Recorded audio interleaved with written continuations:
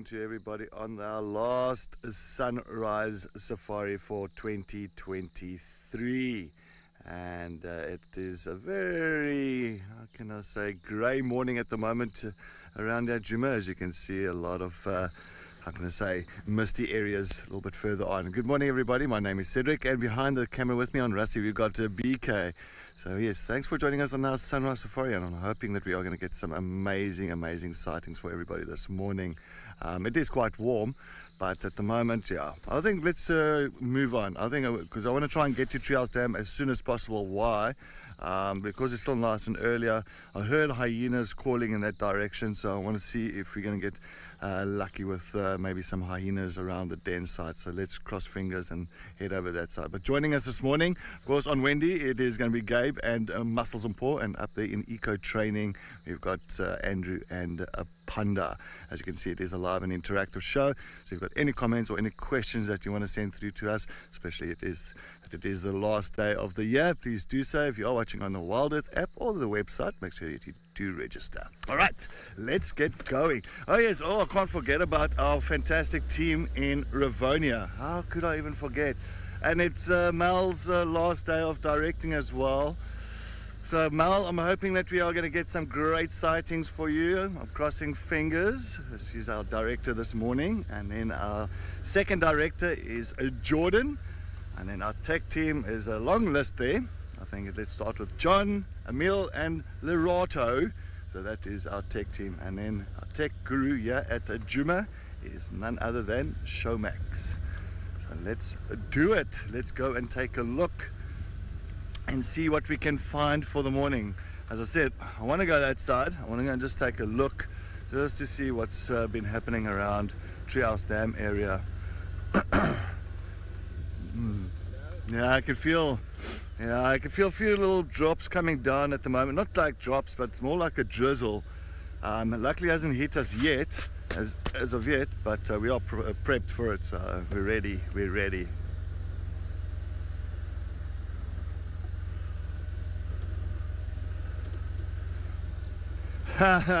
Kelly, you said yeah, that the largest safari vehicle in the world is a party vehicle today. A, a party vehicle. A party vehicle. Party vehicle. All right, well, you could say party vehicle, but yeah, it is the largest safari vehicle in the world for sure.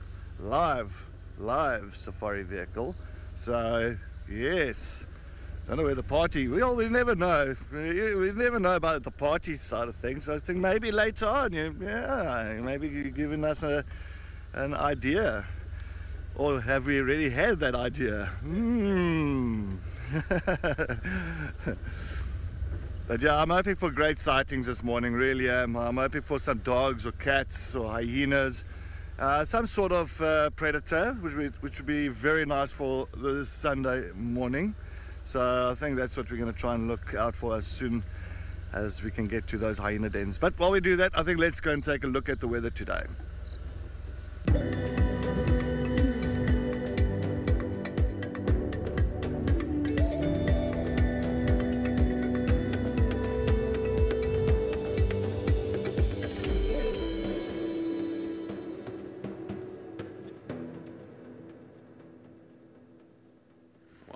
Good morning, good afternoon, good evening, wherever you are watching this from. I am Game Ranger Gabe, and behind the camera with me today, I've got the man with the big muscles and very, very small legs, which means he can't run very quickly. His name is Impo. Hello, Impo. The reason I'm giving Impo gas so early on in the morning is on the 2nd of Jan, we have a race. I don't know who would want to start their year or their new year with a loss underneath the belt, but it's fine. Let him carry on. But yeah, no party, party, party vehicles just yet. That's uh, the afternoon safari this afternoon as we start winding down for 2023. What a year it has been indeed. Craziness, craziness, absolute craziness. We are just speaking about it now how far or not not important I am important I don't we're not we're not really friends so we don't talk about personal things like that. But I, am trying to remember who who I was talking to, to Cedric this morning actually. I was like it's amazing how quickly this year has just flown by. And then Cedric's like, yeah, I still remember coming into the new millennia, the 2000s party. I was like, wait, what? We're talking about this here, Cedric. Cedric's like, yeah, no, it was insane. Okay. Moving along swiftly. My goal for this morning is nothing too crazy. It's just to drive on a road that I haven't been on once this stint. And that road is called Hyena Road. Maybe we'll find something cool down there, and that's why we haven't found anything too amazing just yet. Is because we haven't explored that road. Sorry, I just thought I saw something there. It's nothing to write home about. That's a big spider web across the face. Nothing too crazy. And this weather. Oh man, this weather. I can't deal with it. I thought we were done with the clouds and overcast.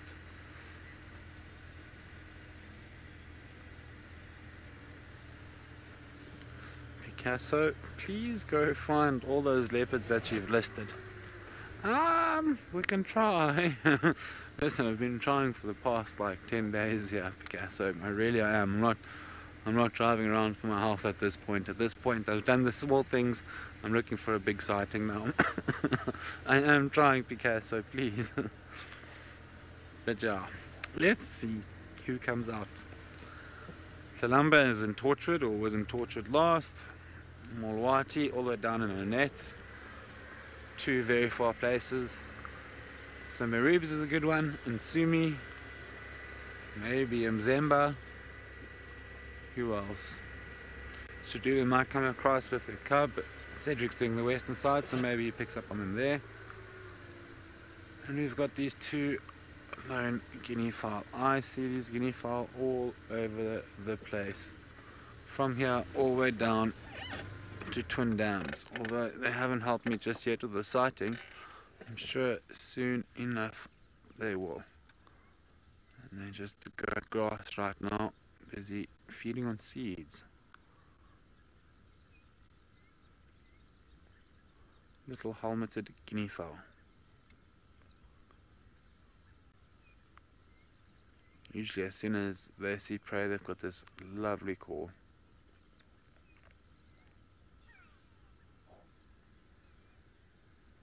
Uh, do you want me to read that comment? I heard it. it's you, you're rooting for him, Paul. okay.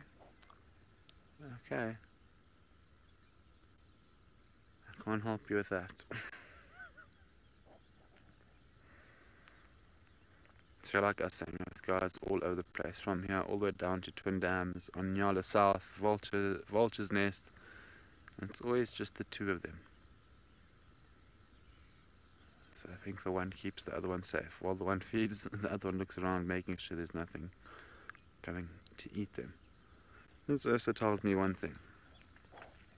Because these are flock birds, that perhaps these are probably the two smartest guinea fowl we have. Because they've been able to outwit and outsurvive other guinea fowls that would have been part of this flock.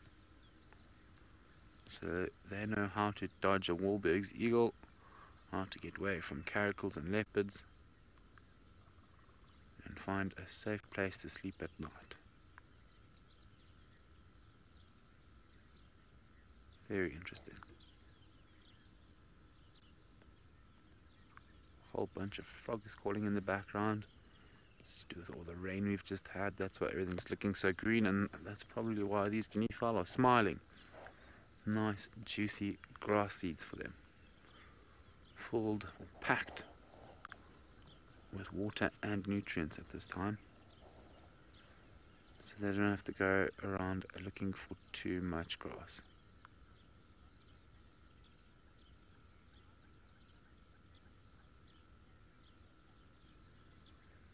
Mary Sutton, you said you would like some New Year's spots. Talking about spots, what's happening with our hyenas? Hmm? I feel like that's a hot topic. I feel like that's a very hot topic at the moment. I'm just going to plant this seed. The Kruger male lion came from that direction. Hmm. Hmm. Why the the den sites dug out? Both of them. Interesting. Okay, folks, we're going to carry on. We're going to head down Hyena Road. Mal, just a little bit of a heads up here. The last half of this road. Okay, perfect. There we are. There we are. Okay. Looks like we've got another teammate up and about this morning. As I carry on down Hyena Road, I'm going to send you through to Anda, Anda, Anda and Pandrew to say good morning.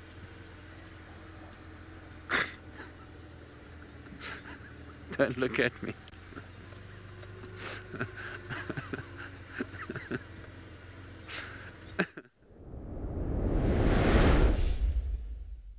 Bright and early out at Zebra Plains here at Eco Training. What a maybe it's at the moment, but it's nice and warm, and I think the warm day overall about 27 degrees. So for, for now, we're going to these cool temperatures. Morning, everybody. My name's Andrew. That's Panda behind the camera, and let's not forget Artie, the vehicle over here, joining us on our safari. Hello, Artie. Of course. Right. So, what is our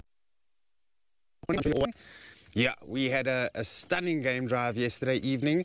I see that leopard I believe, uh, from all of you was identified as Pixie Pan female. So thank you very much for that. And uh, I think uh, for this morning, we're going to head up to the north again. We're going to check around Leopard Dam again, just see what's going on. And who knows, maybe even head up towards Jejan Cut and just try our luck again with that leopard. But for the most part, it was a very, very calm night last night. Uh, not too much animal sounds. I woke up this morning and looked for some the garden. So it seems like, yeah, most of the animals were quite still. Although I did hear some splashing in the water early this morning. I think at Low Dam in front of our camp uh, at Eco Training, there's a hippopotamus that's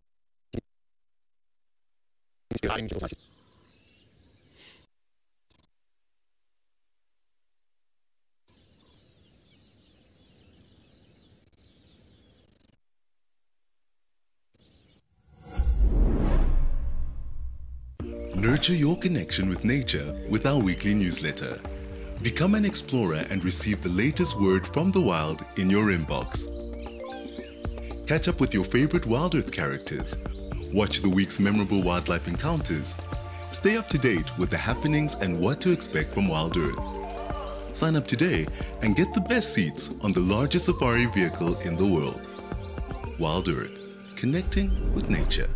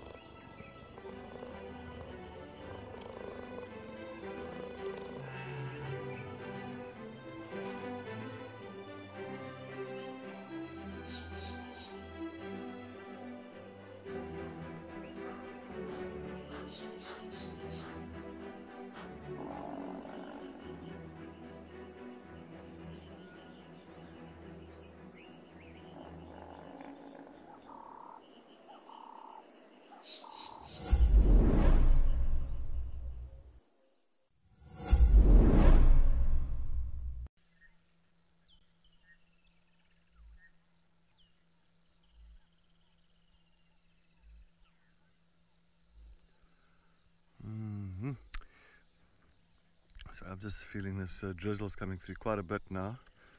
Uh, yeah, maybe we'll have to try and get under a tree here, but we'll. Yeah, let's just go stop under this tree here. Okay. So we're just gonna try and stop under here.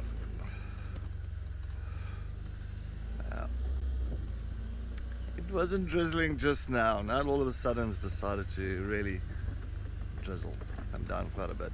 Alright, let's just see if we can in here somewhere and take cover for now.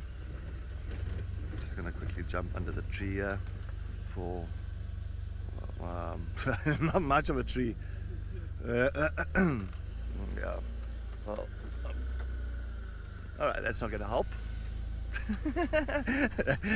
I thought there was going to be a nice little spot here for BK and myself, but clearly, no, that's did not happen. I just want to see the direction of the drizzle, so we can at least we can stop under a marula tree. Uh, hopefully, we can do that now.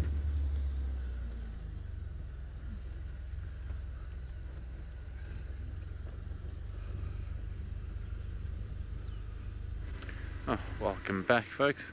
We are now on Hyena Road, and I cannot believe how wet this road is. Still, I want to try and miss this puddle just because I saw a whole bunch of terrapins and frogs, and another puddle just down the road. I don't normally drive on the edges of puddles. I just haven't walked through and cleared that puddle with a stick, and I really don't feel like driving over a baby terrapin or a baby frog. That does not sound like a good end to 2023 for me. I was very concerned about the weather. It looked like it was going to rain. I did bring my camera with me this morning because I thought maybe we need a different, a little bit of a variant this this morning. I haven't taken my camera the whole time. We've had ama- amazing songs and I just haven't kept them. So I decided maybe if we bring a camera, something would be so kind as to walk around in the middle of the road for us. But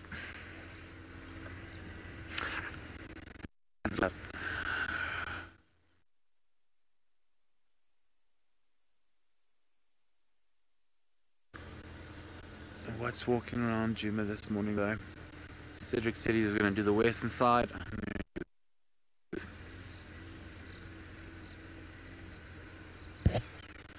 Of it, yeah. Now a spider web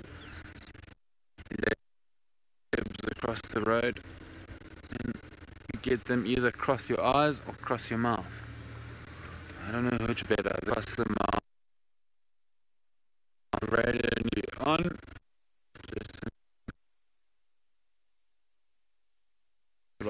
How did I sleep? And I can say, yeah, I slept with my eyes closed. Educate people one day at a time.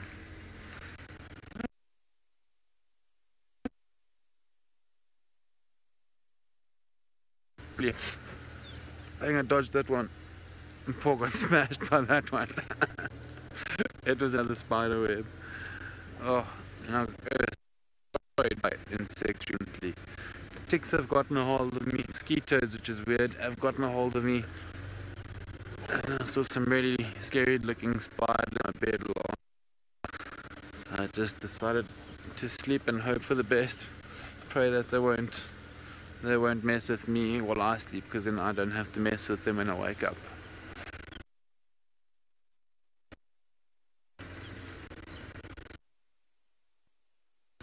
Folks, as we carry on here, I'm going to send you through to Cedric. Our signal is slowly filling screen.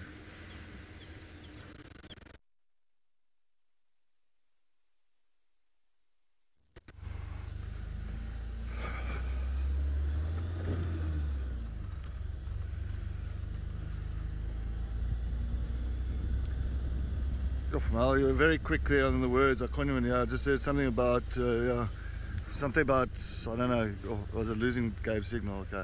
Do apologise on losing Gabe signal. Um, I was running with your words very quickly there, trying to catch up there. Um, all right, so it is starting to rain a bit now. So we're just going to slowly, it's back to camp area, trying just to get maybe the rain roof on. Hoping we can do that. Yeah. Let's get to the camp area. Mm. This, this drizzle all of a sudden decided. This morning it started clearing up. It was so nice. Stars, everything. And now all of a sudden it's coming down quite a bit to the drizzle. Not like heavy rain, it's just heavy drizzle. That's about it. I think it's heavier when you're moving. That's the problem. Equipment.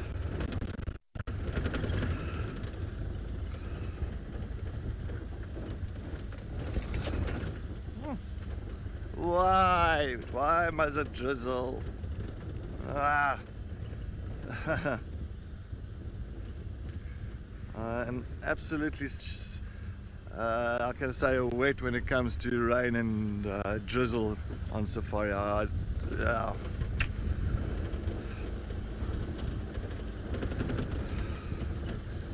That's all right. I'm sure we'll still get great sightings this morning. It's all going to happen. It's all going to happen. I think we're going to get one of the greatest sightings ever. Watch. Mm, watch. And now it goes.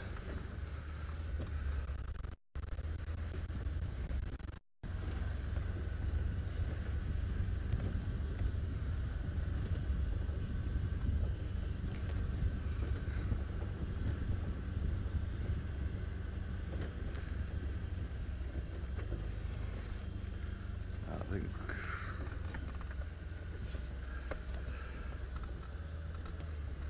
So, uh, it's a Sunday D, something please. Uh, some lions, please. Thanks. Uh, I don't know why my comms is just running here. Uh, yeah, lions would be nice, Cindy D. It'll be fantastic. I'd love to see some lions this morning. That's why I wanted to do this area now.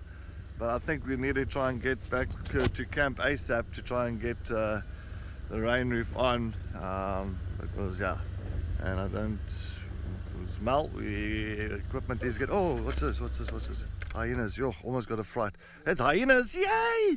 Hyenas told you. Something's to happen. Who is it? Who is it? Who is it? Sorry, I'm to quickly get my binocs out here.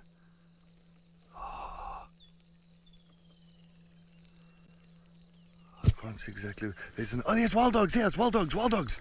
Wild dogs. We've got wild dogs. Yeah, right here. Wild dogs. You, you thought it was dogs, yes, hyenas, but it, yeah. But here's wild dogs now. We've got wild dogs. Oh my word. See, we're just gonna get the great sight here. oh my word. This is amazing. This is wow. Look at this. Uh, yeah, I gotta just quickly wipe the lens, sorry. I'll have to just uh, sit a little bit back here, but yeah. Ah, there it is.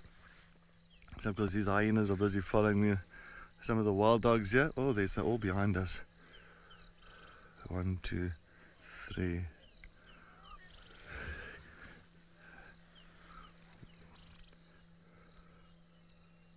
So I can see one, two, four. Oh, look at this hyenas coming towards the dog. The dogs here. The wild dogs there, hyenas just behind the wild dog there now.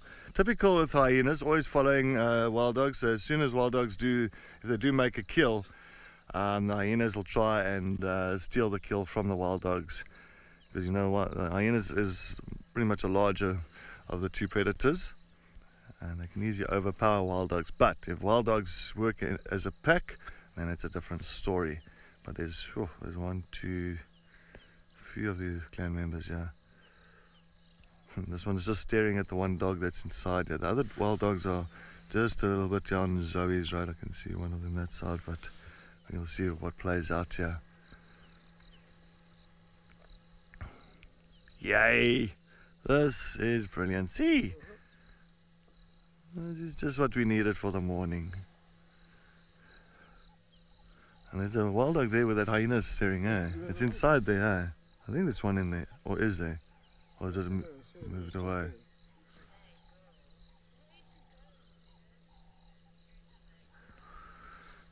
Tutanay girl, yes, thank you so much. Yeah, what a way to go. What a way to start. I think let's go that side. I'm worried, worried that there is no dog in there. Let's just go quickly and go going to Zoe's.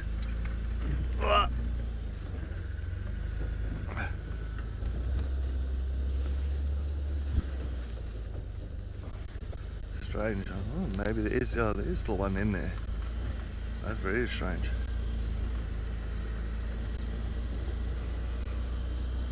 Oh yeah. Anna Marie, yes. Wow, look at this, look at this, look at this, look at this. A dog and a hyena. Oh. the demonstrations update Maslawa quarantine. Quarantine. Yeah, I don't think this Gabe's got the wrong wrong position here. We're on. Uh, yeah, Gabe, we got Matlova here on Philmos Scotland Junction, Zoe's, eh? Ah, okay, copy. There you are. Thanks. It is. Alright, go back that way again. Alright, let's go back that way again. And then I'm trying to see the hyenas. So also trying to figure out which hyenas we've got here. But we will fathom that out very soon. I'm gonna try and. Oh.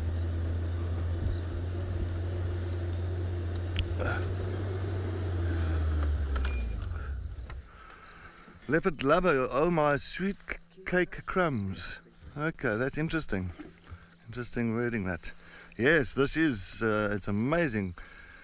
And uh, looks like just the four, so there's that four, pack of four that they had apparently coming into Djuma last night or yesterday afternoon.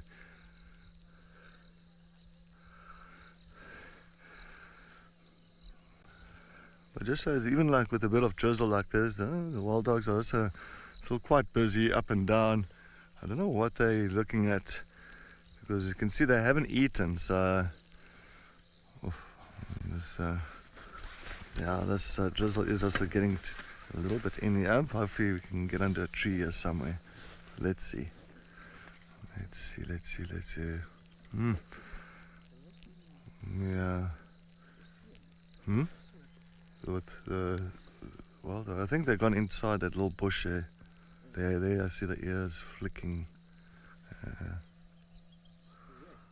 yeah, there's, so there's somewhere there.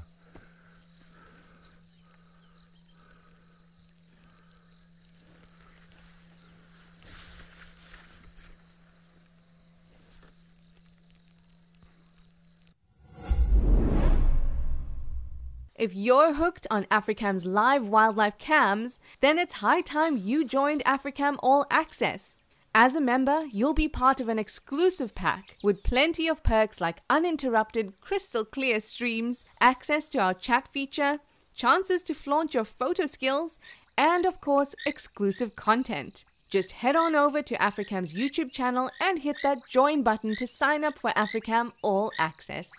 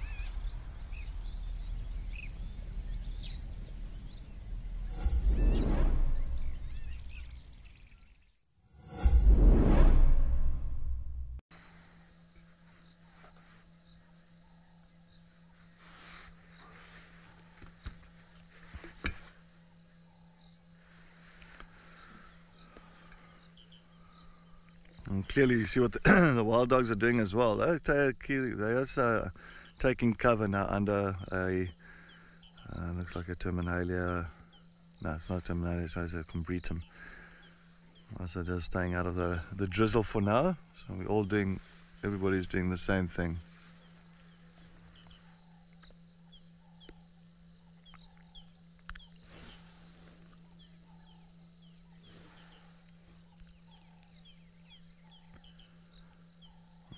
Hyenas are just uh, lurking around, hoping that the, these wild dogs will start moving and uh, maybe bring down something, but uh, that's not going to happen anytime soon.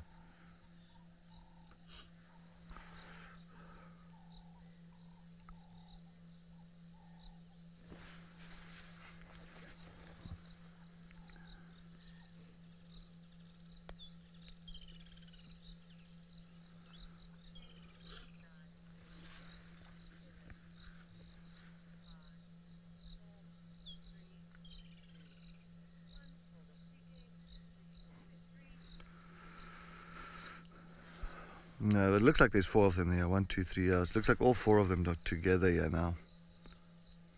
All four wild dogs. And this poor hyena's just. His hyena. His hyena's just checking them out. it's like watching the party from outside.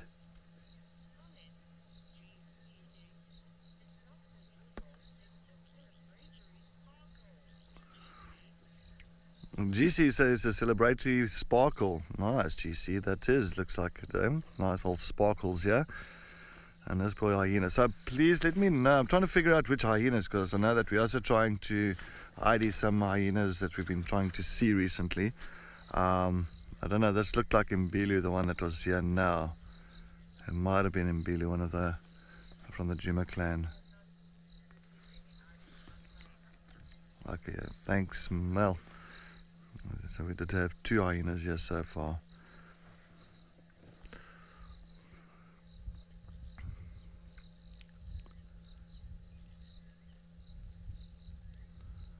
Well, I'm just so glad that the wild dogs have decided to take cover here and rest for a bit, and uh, given that we were also given uh, getting a little bit uh, wet, and uh, they've chosen a perfect spot for us to hide under a bourbon tree, so BK and myself can also keep dry.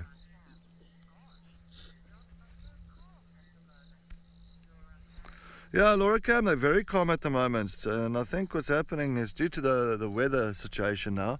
I think typical, like you know, when you even when I always say like your dogs and cats at home, you know, if it's raining and drizzling and it's not it's not pleasant, you know, sometimes they're also going to go and uh, take shelter. You know, they're going to go into the house or they're going to go and lie on uh, the veranda on the mat and uh, curl up and have a little bit of a snooze. So it's the same as what these wild dogs are doing because you can clearly see they've got uh, empty bellies. You know, they would think this time of the morning that this is the normal time that they would usually go out and run around and go and hunt for something. But now they are very, very snoozy, very comfortable under this combretum, and uh, all four of them are actually all huddled up there. And this is exactly what we're going to see for now. For now. We are, we are going to wait to hang around here. Mm. Oh, okay. So Zimbili and one of the unknown immigrants, unnamed immigrants. Okay, male. All right, fantastic. Thank you so much for that information. Yeah, I thought it was Imbilu, that one. And then uh, the other one was, yeah, I did not, I've never seen that one before. So that was also a little bit of a surprise to me. Surprise, yeah. yeah. Well, we call it surprise. That's it. Yeah, there you go. So we, we had Imbilu and surprise.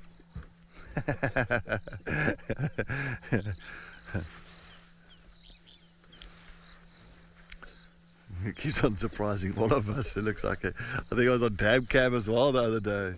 I was like, hey.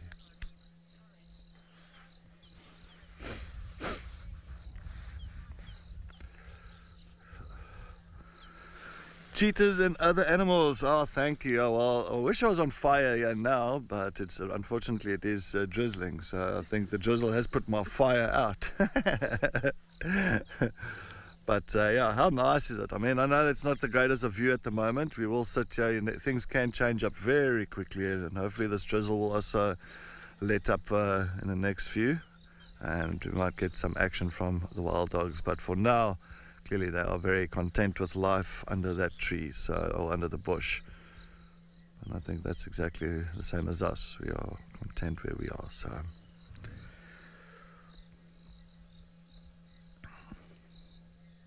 And this is exactly where apparently they came in yesterday afternoon. They came into this area, so they didn't move too far. You got poncho. You didn't bring a poncho, did you? Ooh, no, cheeky baby Elliot. Uh, uh, BK did not bring his poncho, but we did not expect it. That's why we didn't even put we didn't even put the rain roofs on because when we left this morning on drive, it was the stars was out. It looked like it was you know clearing up nicely, and then all of a sudden it just changed in like a matter of minutes. But I did. I brought my raincoat. Yeah, always. That's that's that's a thing. I I I learnt in my years, you know, in the bush that I always try to bring too much and too little. Yeah, it's just yeah, you know, it's it's especially when it's cold. And if you don't bring a jacket and it's cold, your drive can be quite uh, quite painful.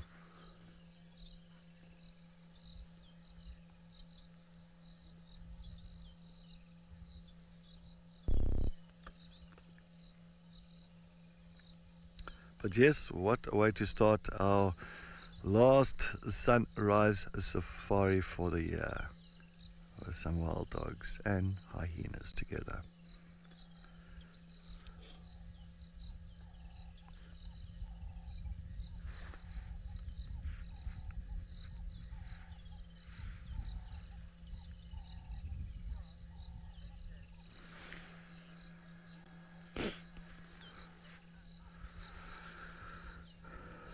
So 50, it does, it can happen where the wild dog packs do break up and form new ones. For sure, it happens quite often. Um, sometimes you'll find that, uh, you know, the the the pressure um, on the pack itself when the pack becomes too big is uh, too much, and then sometimes you'll have two or three individuals, four individuals that decide to say, okay, you know what. We are rather going to leave uh, uh, the pack of origin and uh, rather just uh, move on and form our own pack and uh, yeah. And that's also very important you know. So that's a really prevents uh, inbreeding between uh, the members and all that. And so it is also very important for the packs to eventually start splitting up into smaller factions. Oh yeah those woodland kingfishers are in full tune this morning and that's what happened with the Toulon. The Toulon pack, I know, I mean, they used to, that was quite a big pack. And I think these four is a break off from uh, quite a big pack. I think the Toulon pack was at one stage 24, 25, 26, something like that. And now it- it's not from, it's not long ago that they actually broke off from them. It was maybe last, maybe in the last three, four months that happened.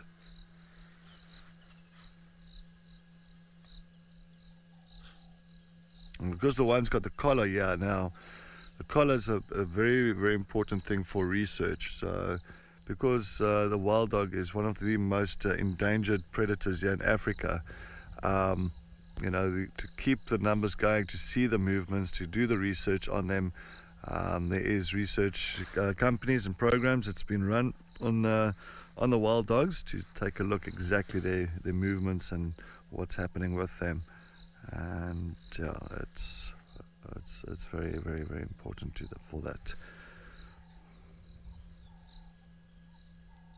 I'm not too sure. I think it's the male that's got the the collar here. I think it's the male.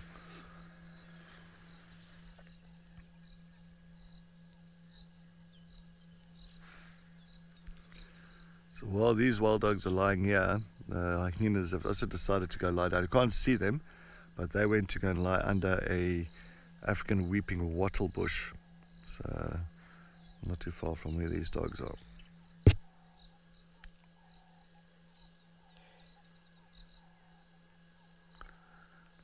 We might have to try and reposition here again.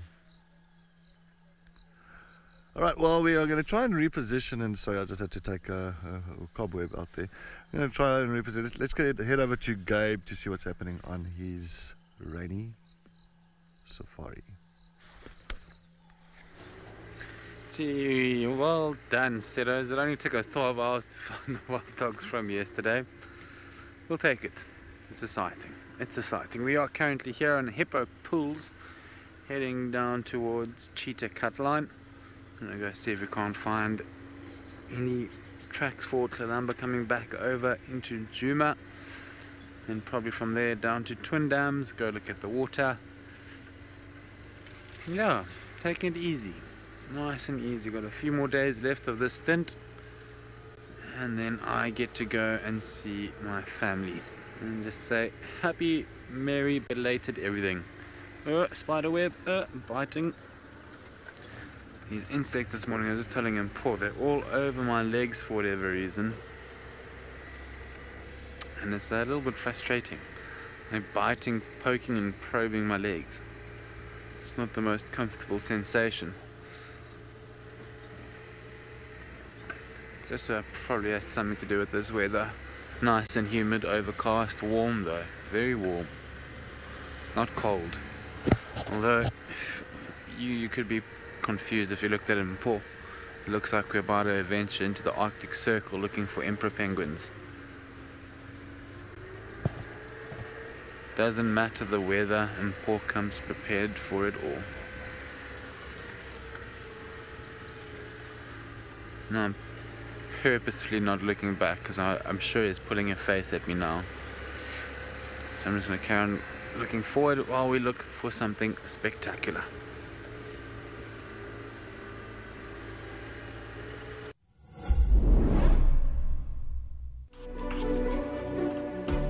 I am Mike Anderson. Welcome to EcoTraining Pridelands Conservancy. Nothing like a good scratch.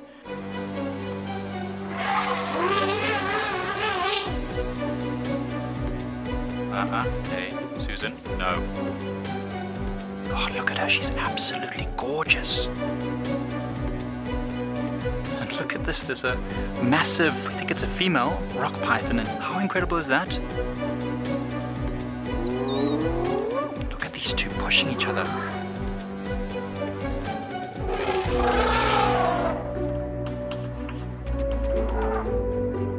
Hello, boy. How are you?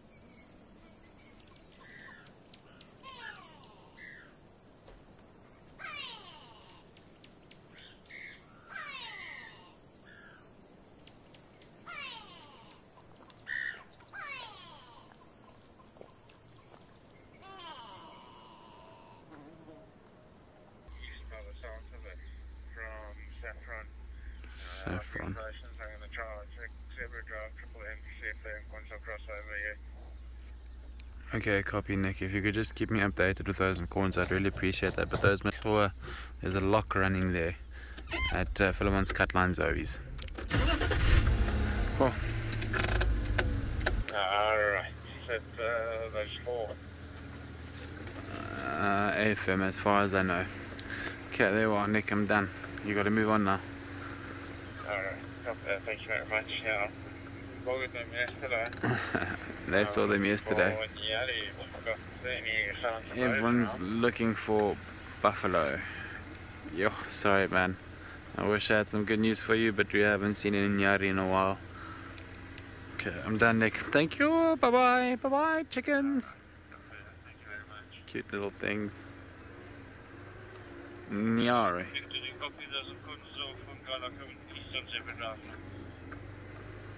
Oh, maybe we might get some lions. Hmm. No, I didn't copy that. Okay. There's a guy back. John Mao on my side. Yeah, Maybe we've got some Nkuhumas here somewhere, guys.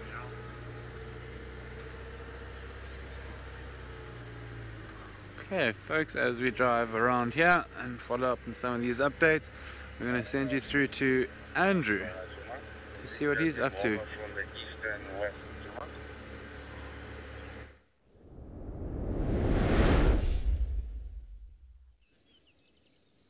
Right, thanks for that update, Gabe. Yeah, sounds like uh, everything is out and about there, Djuma.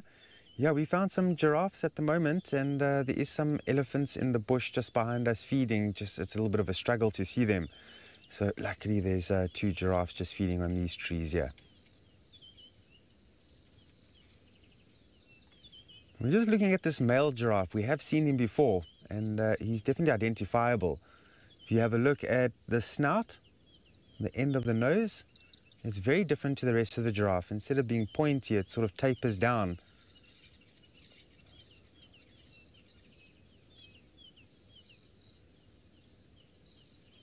Very different.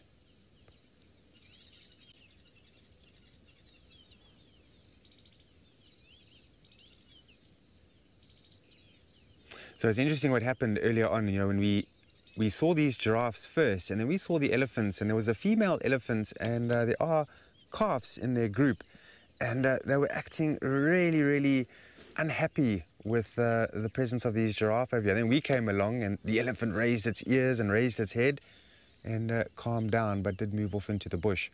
Lola, this male giraffe is dark. Uh, that's right. So he's a dominant bull. And for many years, I remember telling my guests on safari this for many, many years that it's generally the older male giraffes that tend to go dark. But uh, just a few years ago, just some new research and new theories came um, out about their color. And uh, the new statement is that it shows level of dominance, which makes a lot of sense. You know, a lot of the male animals out in the bushveld are a lot darker than that of females. And if you think of red-hearted hartebeest or tsessebe or sable antelope, giraffes, I mean, the males are very dark and uh, influenced by a level of testosterone. And therefore, the more dominant the animal must be, according to what they say. But what we do know about giraffes is that females are attracted to those darker males. It's said to be stronger genetics. So these males that go dark, you know, they're, they're, they're going to be great breeding material and gives the females a chance to receive genetic delivery, which means basically getting pregnant and promoting genetics.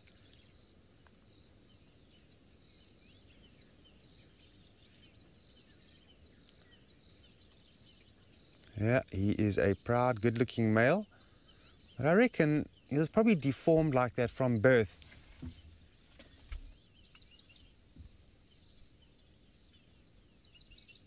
And it doesn't seem to be hampering uh, him in feeding whatsoever because, you know, the lips are still quite pointy. If you look at a, the shape of a giraffe's head, it's very elongated and narrow because why? They're browsers. They've got to put those heads between small gaps in a lot of thornveld. So it needs to fit.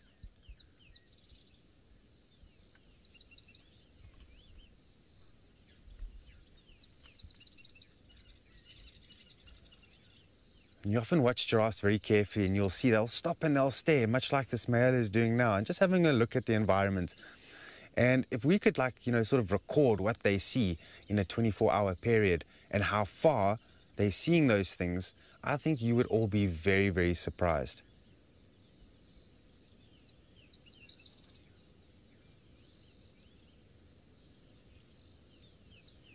I would love to have their eyesight. Panda, what about you? Yeah.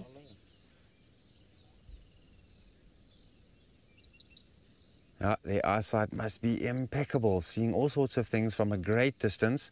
Different books say different things, but uh, they say that giraffes can see 30 kilometers plus on a day that is clear from the very, very far distance. But it's not the best eyesight of the wildlife. When you think of vultures, and they can see carcasses on the ground while they are soaring and they are a speck in the sky. Incredible eyesight. So today's the 31st of December, and I just want to say happy birthday to my sister out in, uh, in, in Gauteng. I hope you have a good day out that way. But more so, yeah, we're starting the, um, the donations drives, which will last until the 4th of, uh, of January. Um, and we're just trying to raise some funds so that we can try and update some of the equipment and replace equipment. Because I must tell you that, uh, yeah, these things get replaced all the time. And that's going to be, well, it's currently happening all the way until the 4th of January.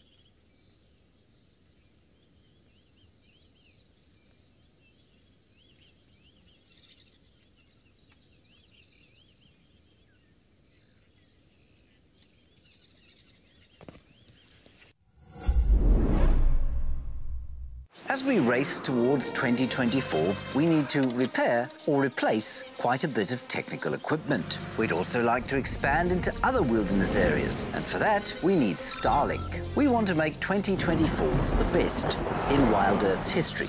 In the next seven days, we're going to run a donation drive to try and raise 15,000 US dollars. This will go a long way to helping us continue with our mission to connect people with nature.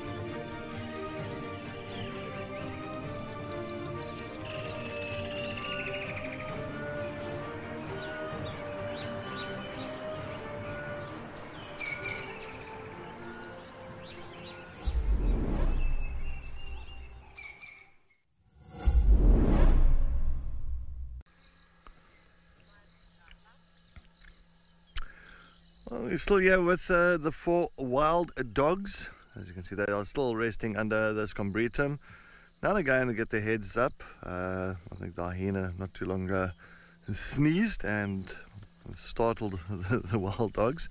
Uh, but the big thing as well is apparently uh, the Nkuhuma Pride of lions. Uh, their tracks is coming into this area from from the west, coming east directly to where we are now. So I'm just as it is, keeping my eyes open and peeled and looking out. Maybe there might be lions that uh, that might be lurking somewhere. Yeah. I'm on uh, standby via 1 for Djuma Africa. What's happening on Djuma?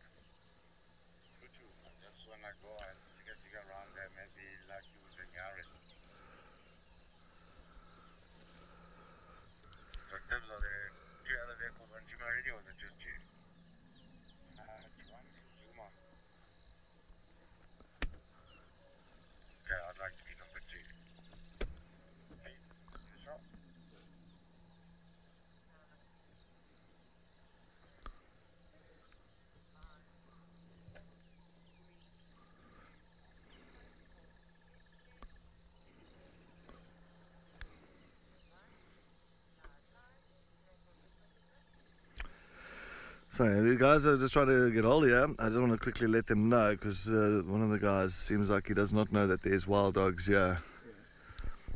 Uh, stations, I don't know if you did copy earlier, but I've got the former Clowa here at uh, Philemon's Cutline Junction with Zoe's Lullapans under Combretum here. So, um, yeah, just myself and Locke. Copy, Civic. Um, yeah, Black 6 slowly make my way there, just on the Q cut line. Hundred percent, yeah. The Lullapans, uh, they're not moving any anytime soon, yeah. So I'm just letting the other station know about the the four wild dogs here because apparently the message was not relayed to some of them. So yeah, just letting them know. But yeah, on top of that, so the the the Pride of Lions that's coming through on Ze- a road called Zebra Drive. Zebra Drive is directly west of us, straight west of us, maybe even not even far. I'd say about 200 meters west of us. It comes onto a big service road called Triple M, and apparently that Pride of Lions tracks is heading into this uh, direction. Um, I haven't seen anything out here. I haven't seen anything on Philemon's cut line. Um, so yeah, we'll just keep our eyes open and to see if they're not maybe lying a little bit further west from where we are. But for now, we are going to just stick with the wild dogs. At least the the drizzle has subsided. Uh, the drizzle's gone, gone completely now for for the time being. And it might actually get uh, these wild dogs a little bit more active now. You know, as I said, they, it seems like they haven't caught anything this morning, and this is a typical time for wild dogs to move around to go and look for something to eat, like you know maybe impala or duiker or steenbok, something like that. And I think the hyenas are they're pretty much lying not too far from where the wild dogs are. And I think the hyenas what they're doing they're also just waiting for the wild dogs to get active and start hunting and then at least they can follow them and hopefully steal the kill from the wild dogs, which I'm sure the wild dogs won't be too happy about. But um, yeah, for now, all four of them are just still resting in this uh, little grassy spot underneath this combretum. You can see now and again the little ears are flicking and the tails and all that.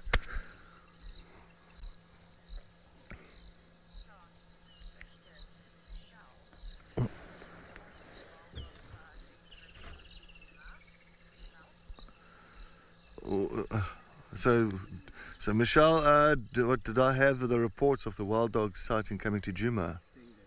Uh, I think that's a question. Uh, yeah, we did get the report yesterday that the wild dogs are crossing into Djuma, the four of them. I know that Gabe and uh, Vika and Gabe came into this area, they followed up. Ah, do we? Yeah, yes, yes, we do have to report. We have to report uh, all sightings. No, not all sightings. Of course, not, we're not going to report impala sightings and, you know, steenbok and all that. But when it comes to lion, leopard, wild dogs, uh, cheetah, you know, things like that, we will report for sure.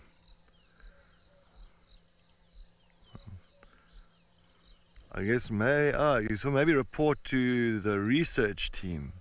Maybe that could be the uh, the question.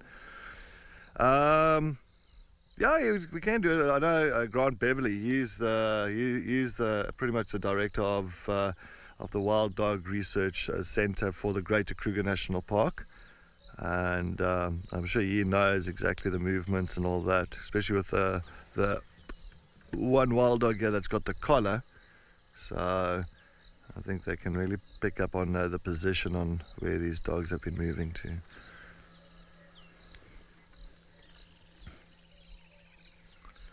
Uh, very important. I know that they've got the whole database for it. So even with the Panthera, so there's that program that we got, that Panthera database program, and even that Panthera database program, it's not just all about lions and leopard.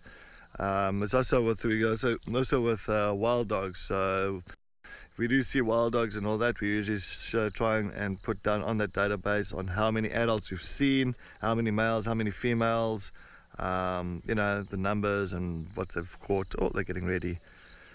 Ooh, well, they were getting ready. Okay, maybe not anymore. So yeah.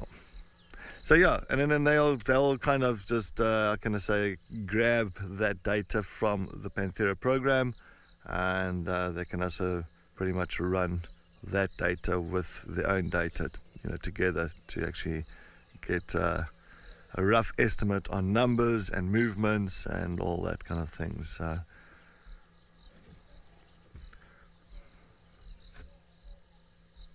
And it's not just us. The entire Sabi Sands, all the lodges here in the Sabi Sands does that. Ooh, see, it's getting a little bit warmer. Are they're going to get ready? I've got a feeling that they're going to go lie down. I was getting, I was, I was getting, I was getting a little bit optimistic there. I was like, yes, yes, here it is. Uh, they're going to get ready. But I'm sure they will sooner or later. As I say, it's clearing up a little bit of blue skies. So I'm hoping that this will encourage them to start hunting. Yeah, it will. Things can change up, you know how it goes in the world. Things can change up so, so quickly. One moment you see things are lying down fast asleep, and next moment everything goes crazy.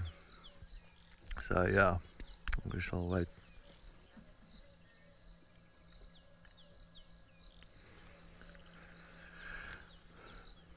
But what a nice way for the last uh, day of the year to have wild dogs, isn't it? It's fantastic, fantastic. And of course, what is also amazing is that we can bring wildlife uh, to your screen from wherever you are watching from. As you know, this is the largest live safari vehicle in the world. And you can sit back and enjoy the sightings with us and I can't wait to see what 2024 has in store.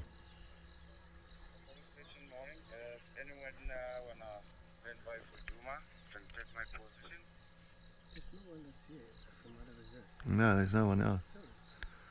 Uh, I'm not too sure what Nick and them. Sorry, we're just discussing quickly yeah, that there's one guy wants to come on here, but he's he doesn't know if, there's other vehicles from other things. I don't know about Chitwa and that. Yeah. I don't make that call. They need to, they got to discuss it between themselves. Yeah.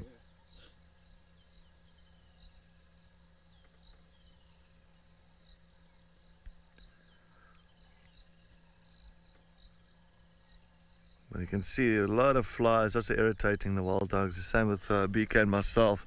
There's small little ones around here. Hmm. Sheila, yeah, no, look, uh, we are very, we are very fortunate this morning, especially that when it was drizzling, and I was thinking, I was telling uh, BK now as well. We were saying, yo, but you know, if the wild dogs had to continue running and all that with that heavy drizzle, there was no ways. Yeah. There was going to be no ways we're going to follow because uh, it's just everything's going to get too wet, the equipment and that, and then, but some or other chance, the wild dogs have decided to go and rest under this tree under this bush and uh, gave us a perfect position as well under a, weeping boer-bean, which uh, gave us some cover. So perfect, perfect scenario, and it played out just right. We've got the largest safari vehicle in the world, and we've got the largest umbrella. Look at the umbrella; it's huge, eh?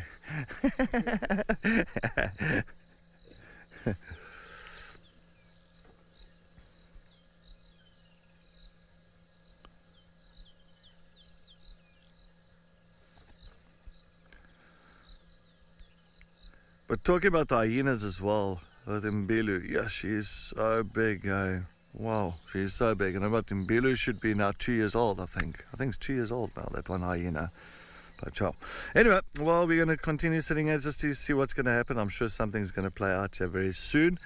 But uh, while we do that, let's head over to EcoTraining to see what's happening on Andrew's side.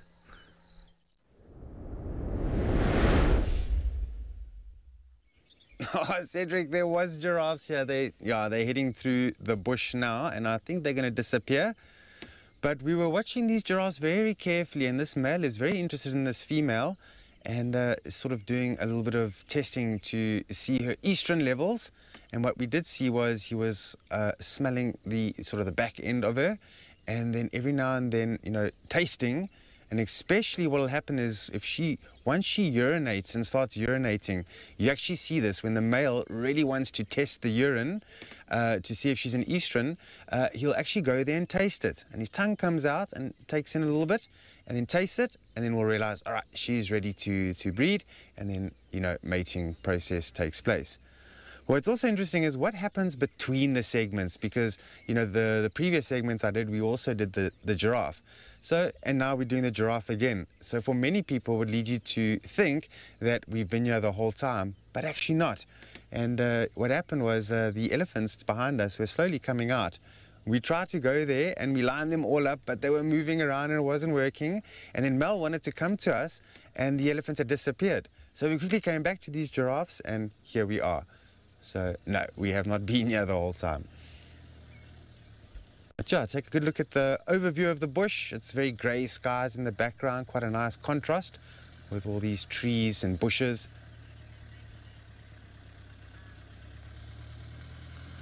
I'm just going to let this vehicle bypass us. I did let them know that the elephants were around here, so they come to, to take a look.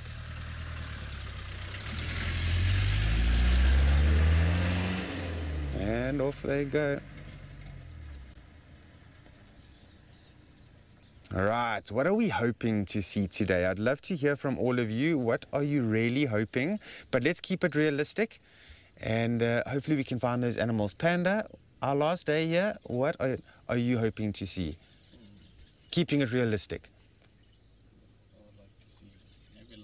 Some lions? Okay.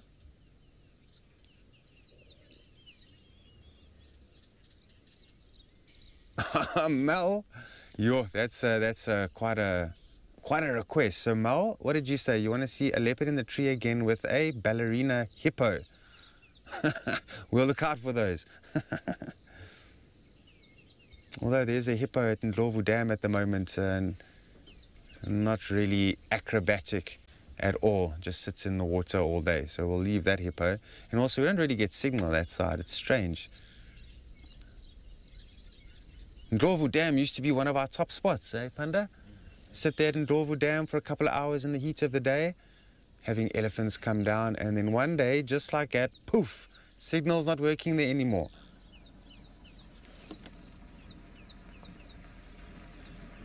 All right, we have another vehicle that's on approach here. We're just gonna let them pass. All right, so it's Anton's farm farm guys, and they're getting ready to do some conservation work or road clearing this morning.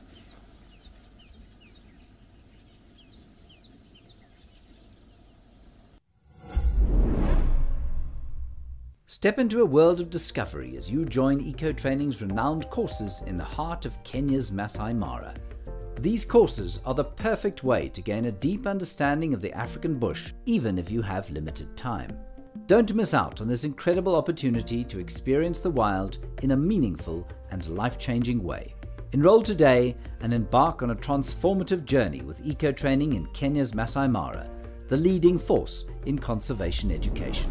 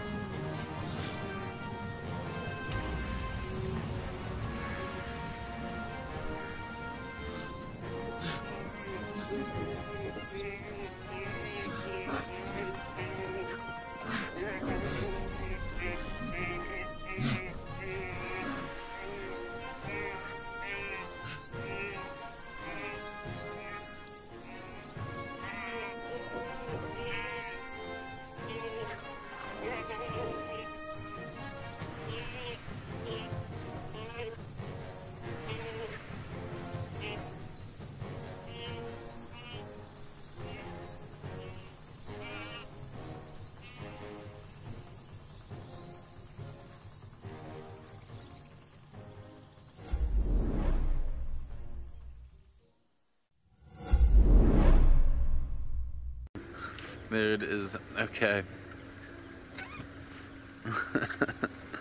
it was just too good. But yeah, you know, you find other ways to keep yourself entertained in the bush. Apparently Mulwati is heading this way. Maybe we find a very surprised leopard somewhere. I just don't know what I am doing wrong or if I'm wearing the wrong cologne. Oh, I missed that. What was that in Paul? Ah, okay. Um, yeah, you just find other ways to keep yourself busy. I'm sure at some point I'm gonna have to find a tree and channel my inner leopard again just to just to feel closer to what I'm trying to find. Yeah. Life carries on, guys, you know. Sometimes, like I said, I think I said it two days ago, this is like going to a disco. Sometimes you walk into the disco and they're playing your music and you dance all night, and other times they're playing horrible music and you're just thinking, what am I doing here? I'm currently in the what am I doing here phase.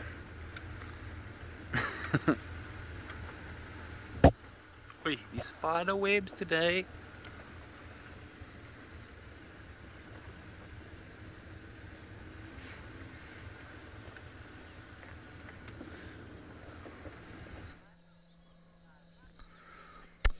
Uh, well, we are still sitting here with uh, the four wild dogs. Still no change, but I'm sure they're going to be. I'm sure there's going to be a little bit of movement uh, sometime shortly. I have got a feeling about it. Just going to hang back here patiently and uh, see what plays out. I did see some impalas a little bit further south. We can't see it now, but there was a herd of impalas that was also moving into this uh, direction, which is going to be a good thing. As soon as these wild dogs see those impalas, I'm sure we are going to get some action then. But for now, they are still just taking a little bit of a snooze. And when we saw them earlier, you can see that they haven't eaten anything, so it's not like they are full. I think they just kind of took shelter from the heavy drizzle this morning.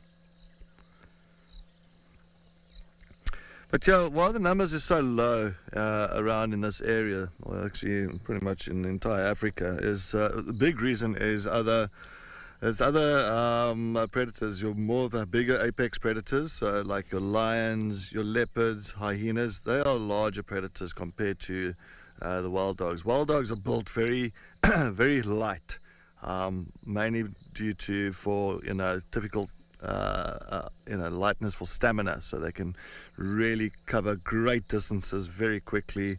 And so they're not as heavy as these big predators. And unfortunately, many a time you'll find uh, even the adults, but mostly a lot of the pups, uh, survival rate for a pup to get to two years old is only about 10 to 15 percent. And the reason for that is, uh, you know, you'll find other predators will, you know, kill the pups.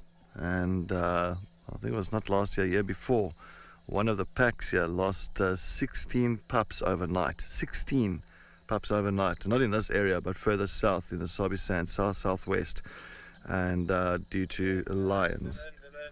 So yeah, lions came into the area, and at night time they killed all of the pups. So yeah, that was a little bit of a sad thing, but that's what happens: elimination of competition. I do not want to have any other competition around.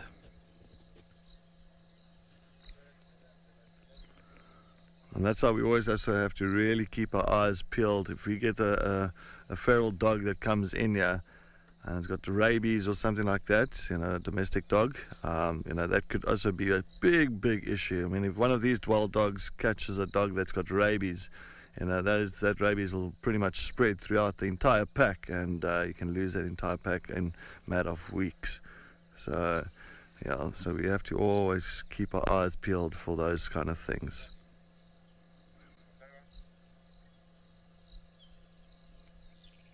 I think that was uh, also, what was it, canine distemper.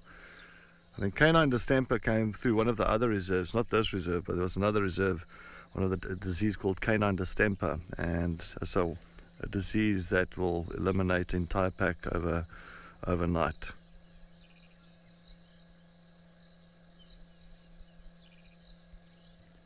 That's why we have to always have the research going. Always have to make sure that The dogs are still fit, no diseases, and everything is all good and well. I don't know what the numbers is now yeah in uh, Greater Kruger Park. The last I heard was I think it was about 250 uh, wild dogs uh, through, throughout the entire Greater Kruger Park. 250 wild dogs. So it's a very it just shows you the numbers is very very low. And the largest pack I've seen was a pack of 33 or 34 years ago. Got to see, I think it was called the Open Pack. And I was working at uh, another lodge called Nkorho, and uh, we had that pack coming down to the pan the one morning. I was about 33, 34 dogs. So some of these packs can really get to a proper size.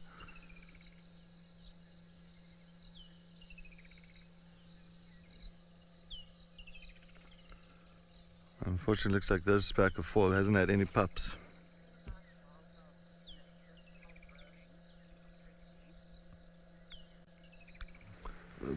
What's the name? 50. Yeah, I so yeah, I didn't see, I didn't hear the. Uh, Mel, just go with the name again. I got the question, but just go with the name again, please.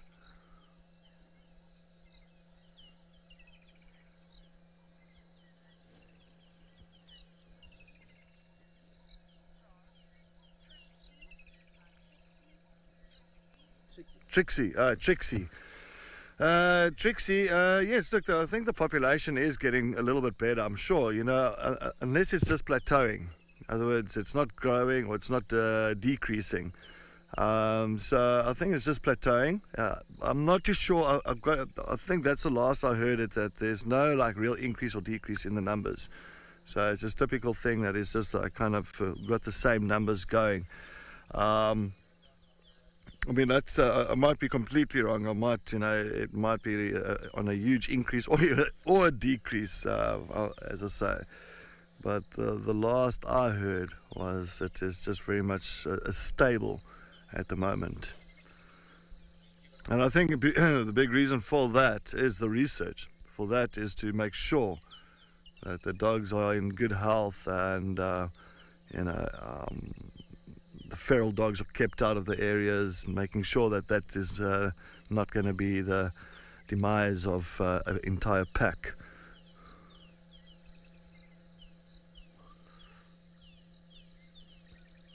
So yeah, those is those are the things that uh, they've been working on quite hard, yeah, in the, in these private reserves, actually in the entire in the entire reserve.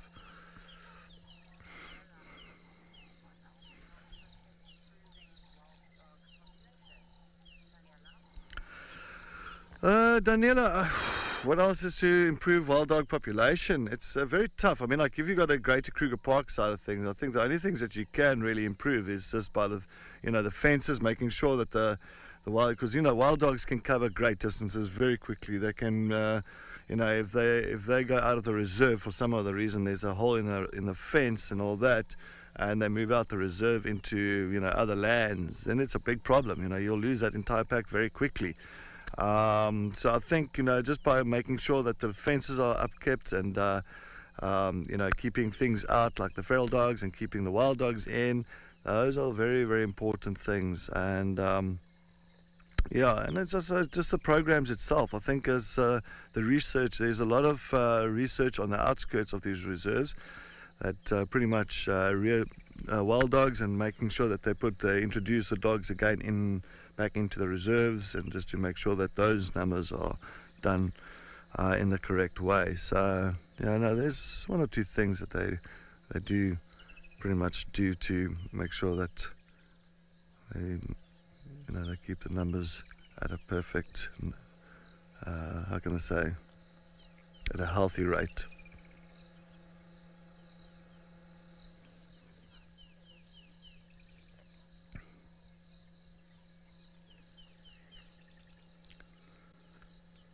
So I am uh, I am playing the patient game here for now. Uh, you know, as I say, I've got just a little hunch that uh, we might get something happening anytime soon, especially if there is impalas, herds of impalas coming through a little bit further south from where we are.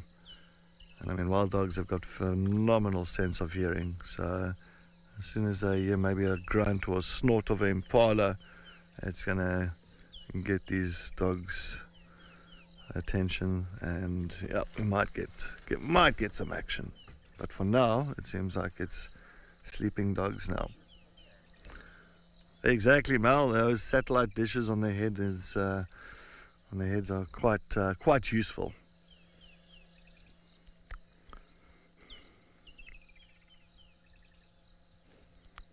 there's also the saying there's also that saying what let sleeping dogs let the rest die. Yeah, something like that. Something like that. Yeah.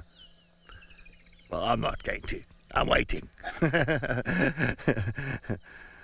sure we're going to get something going. Ah, sleeping dogs lie. Let sleeping dogs lie. That's it. Thank you. Thanks, Mel.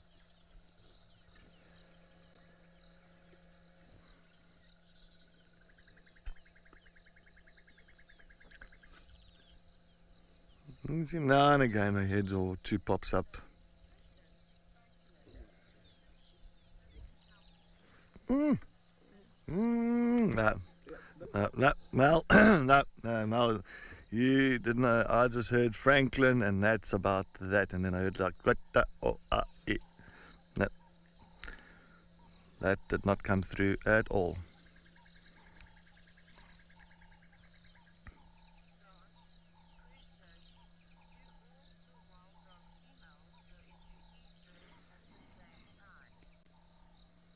Franklin. No, not all at the same time. The female uh, wild dogs don't all. It's just the, really the alpha female. Sometimes you'll get a beta female. It has happened quite a few times where the beta female will also pretty much uh, go into estrus and all that. Um, but they're the only ones that will breed with uh, the alpha male. Um, what happens as well, that happens around about uh, beginning, should be actually beginning of the year about was it February, March? Yeah, it should be about March. That's when we remember we saw the uh, the six pack or that other um, small pack of wild dogs actually mated last year. I think it was March. And um, yeah, and then by that time, 90 days, of course, uh, gestation, and then usually they will start denning at around about May, June. Say about May, they'll start looking for a den site and for the female to have a pups and uh, once she has her pups at that den site, they'll have a territory, a set area, a set territory around where that den is. And uh, they won't go too far looking for things to hunt and all that. And around about maybe August, September, say, say September, those pups will be old enough to start moving around with the adults. And then they'll leave that den site and then they won't really have a territory anymore. Then they'll have a pretty much thing called a home range. And a home range for the wild dogs around here can be easy from about 70 to 75,000 hectares. That is a home range for a pack of wild dogs. And then they can move, start moving around. But it's just really, as I say, coming back to the question, it's just the, really the alpha female and the beta female that'll go into heat. And sometimes they won't go into heat at the same time. No. Sometimes I've seen actually a female giving birth much later compared to the first one. Maybe like a month or two.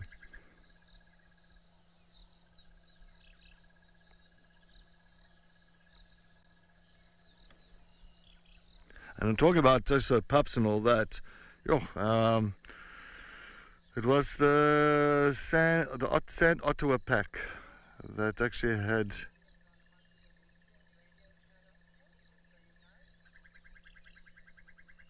Oh, okay. Sorry, I was, just talking to me there. So the San Ottawa pack, uh, they had 18, I think 18 or 19 pups. I think they're down to 12 now, if I'm not mistaken. I must just find out. But that, I was really hoping for that pack to come over to Djuma so we can get to see those youngsters, all those young ones. But it seems like they've been hanging around quite a bit more in the western Sabi Sands.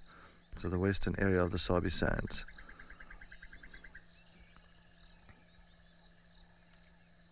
Was actually trying to figure out, find out how many pups they've got left there. Maybe Mel can let me know. Maybe somebody can just give us a an answer on that, and then I'm sure Mel will relay to it me.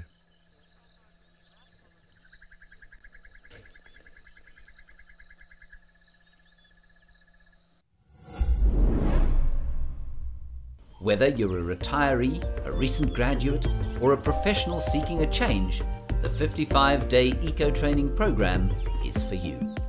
With the coaching of experienced training guides, you'll embark on an unforgettable adventure that will give you a deep understanding of wildlife, conservation, and African cultures. If you sign up locally or internationally using this promo code, you'll receive 2000 Rand off.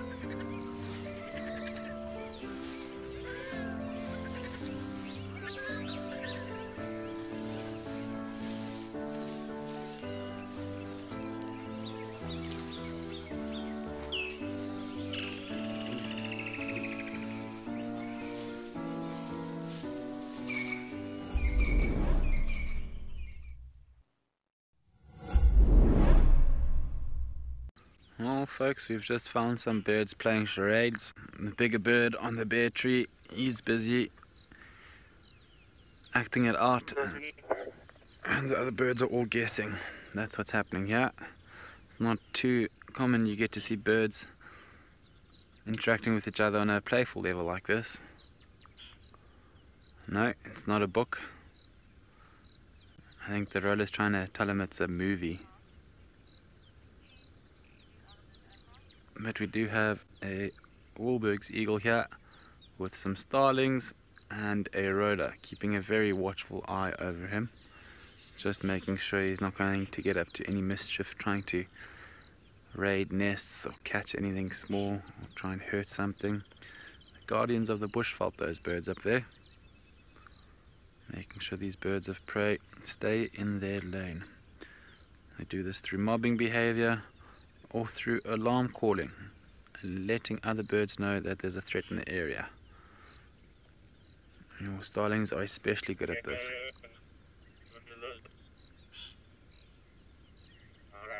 Oh. Let me put that a little bit softer.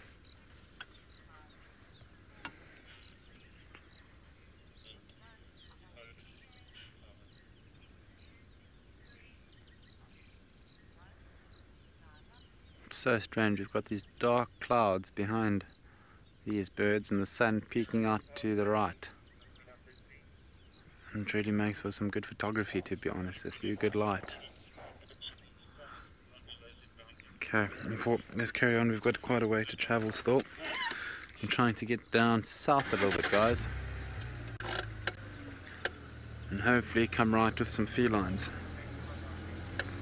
We'll have to wait and see.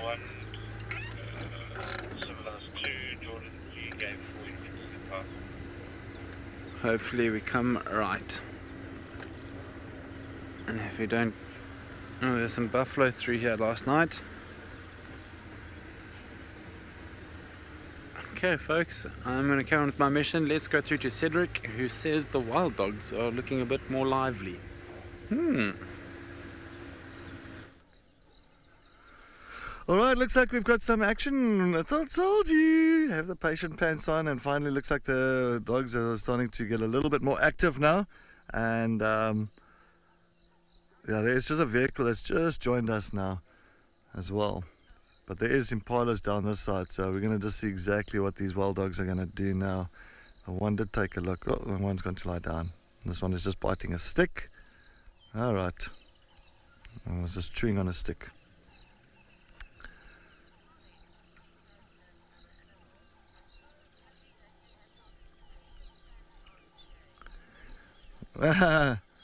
Cheetahs and other animals, yes, it is always important to have the, the uh, patient pants on. And that is that's one thing about always with wildlife. You know, I know sometimes you find lions that's sleeping, or the uh, leopard is sleeping, or wild dogs are sleeping. But you know, sometimes you got to just sit there and observe and wait, and that's when you really get to see the, some interesting interaction and stuff happening. Always just got to wait. Be patient. Be patient. Be be patient.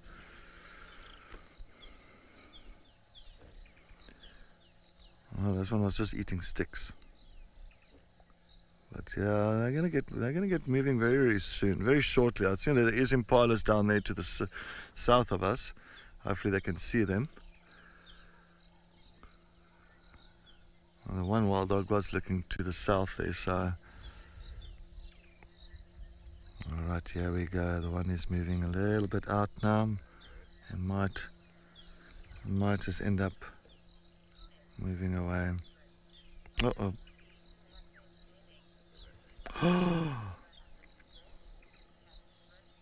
Oh, Catherine, I'm not too sure about them denning, if they have ever denned in uh, Djuma. That is, yo, uh, I haven't, I mean, I, since I've been here in the north, um, the only time then we had actually uh, wild dog uh, a den is, um, I think it was on the western area, I think towards Shirley's Elephant Plains. I think that's when uh, we had wild dogs denning. I think so. I think there, or was it Simbambili? I can't remember. This was years ago. Ooh, what's happening here? There's something coming here. Oh no, it's a hyena. Oh, it's uh, oh, it's that uh, that surprise. Yeah, it's, it's it is it is surprise. Yeah, oh, we got surprise coming out there now. Come on, he's just behind there. Almost surprised us again. it's, I think it's so fitting for this one because it's surprising all of us. So, uh, that is funny. You can see this one is just sniffing around. What are you gonna do? Hmm? What are you gonna do?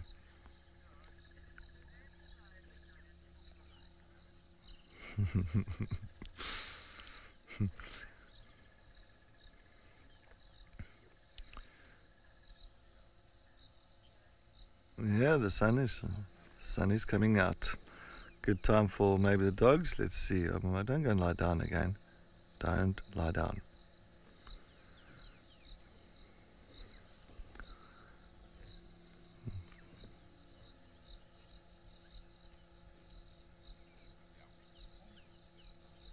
Yeah, but you can see a little bit of action going here, so it might end up moving. Let's see. Oh, uh, Annabelle, the Impala is far. The Impala is about maybe 200 meters south of us. I can't even see the Impala anymore. The Impala's moved a little bit further away. Yeah, looks like the dogs have just started to. Uh, surprised he's still coming here. uh, moving into the thicker stuff there now. Surprised it's decided to go and surprise Mbili with its presence. I'm digging up there, trying to get a little comfy spot. There you go. He's going to go lie down. There we go. Oh, no, yep, there it is. All right. All right, well, I can't really get to see too much of them now. Uh, They've just moved into a little bit of a difficult spot. We might have to reposition uh, shortly as the rain has stopped, so at least we don't have to sit under the boer-bean for much longer. Oh. a little uh, what you call it, uh, a woodland uh, kingfisher just came flying straight towards BK and myself. Yeah, wants to see us. Uh, do you think we go there? Eh? Have that sun there? Huh? All right, let's start. Yeah. Okay, we're going to try and reposition here quickly. As I say, thank you, boer-bean. Thank you so much for your cover.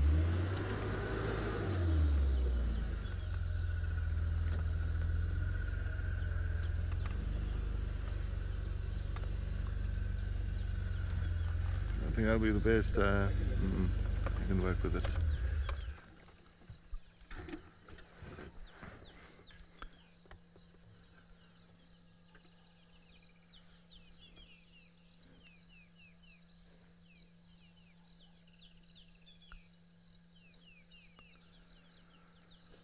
Oh, this, I don't know what this one's doing. Mm, Bite, biting branches. I think what he's trying to do is trying to clear the little spot there for it to lie down. So he wants to now make a nice little, how can I say, resting area. And maybe that stick is poking it in its side and that, and it's not happy. There we go. There we go. Now it looks uh, standing by, standing by.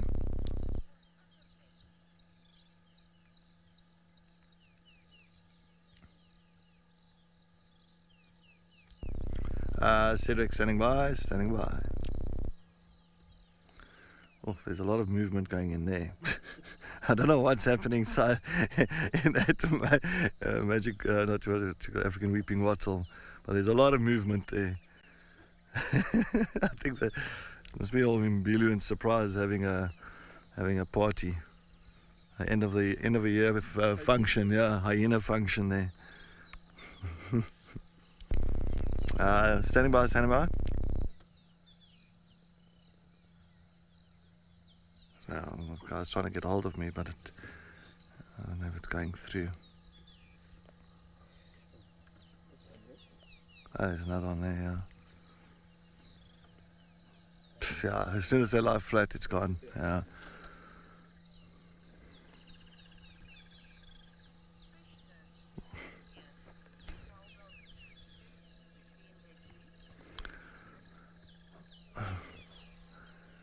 Uh? Uh, do wild dogs chew sticks to clean their teeth? Like using it like to, to like toothpicks? You're saying, I guess. Ah. Uh, no, I don't think so. I don't.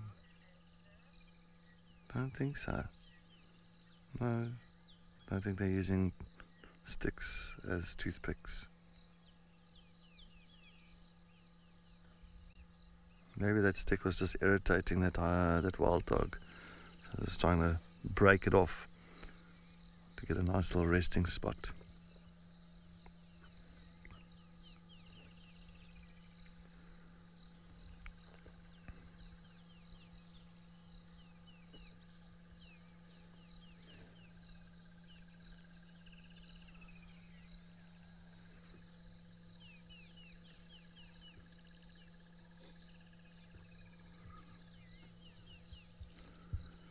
Well, hopefully they do go north. I can imagine if they have to end up going towards quarantine with all those impalas. Yo, it'll be just chaos.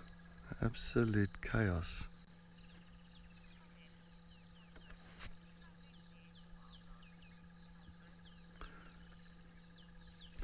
Ah, Catherine, yeah, I know. What a what a what a way! I'm sorry. Oh, as I said, it's such a nice way to have our start of a of a Sunday morning uh, safari with uh, some wild dog action and uh, hyenas. Um, that was very nice, very nice, very nice. Always nice to see wild dogs. I love them.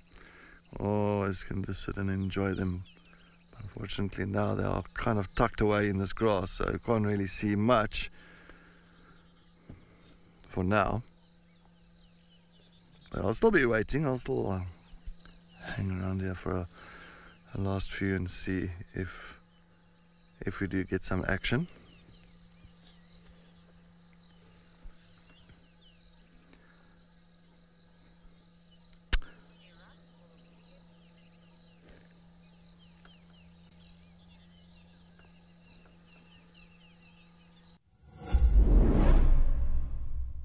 I started watching WildEarth during COVID. I decided that I wanted to study more and I saw that EcoTraining Pridelands was doing courses and I decided to do the eight-week online theory course at the end of last year. There's just so much out there to learn and to experience. Sign up for an EcoTraining digital course today with the promo code to receive 200 Rand off.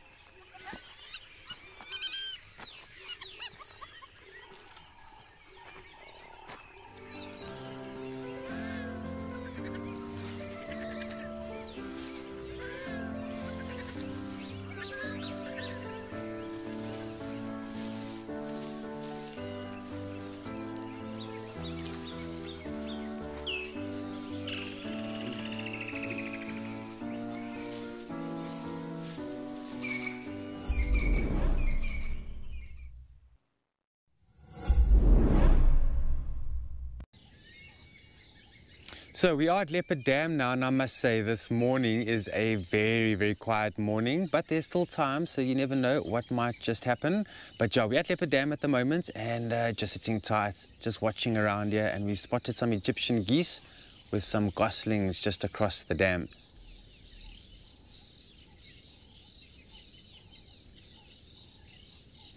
It's been interesting, you know, the at Ndlovu Dam there by EcoTraining Camp, there's also a pair of uh, Egyptian geese and they had some goslings as well.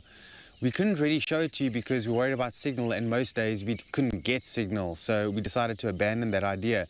But um, watching them, when the young hatched, there were seven young in total at Ndlovu Dam. And uh, the other day I saw them while behind one of the showers in the camp and I saw the same pair still with seven young, but now those seven young are almost the size of the adults now. So it's just amazing, you know, with the amount of predation in an environment like EcoTraining, that that Egyptian geese pair managed to raise all of its young. It's incredible, really is incredible, because the amount of predation on the goslings is just so great. Everything and anything goes for them, really.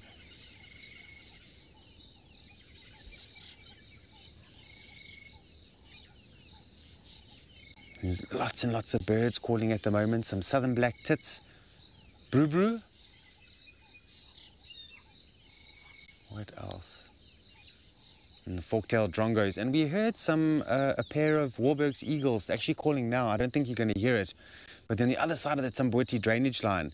And uh, when we came through the drainage line, they were on top of one of these Tamboti trees. And they were calling. And we switched off the vehicle and we just listened for a few moments. And it's such a nice sound that the, the Wahlberg's eagle makes.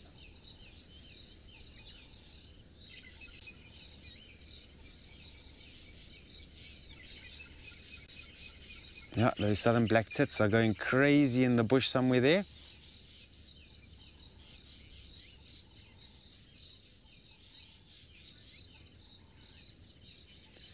Hello, morning Itzi. Uh, well, it's not impossible. We saw her the other day north up into the Jejan area, which is a, a neighboring concession that we don't go onto.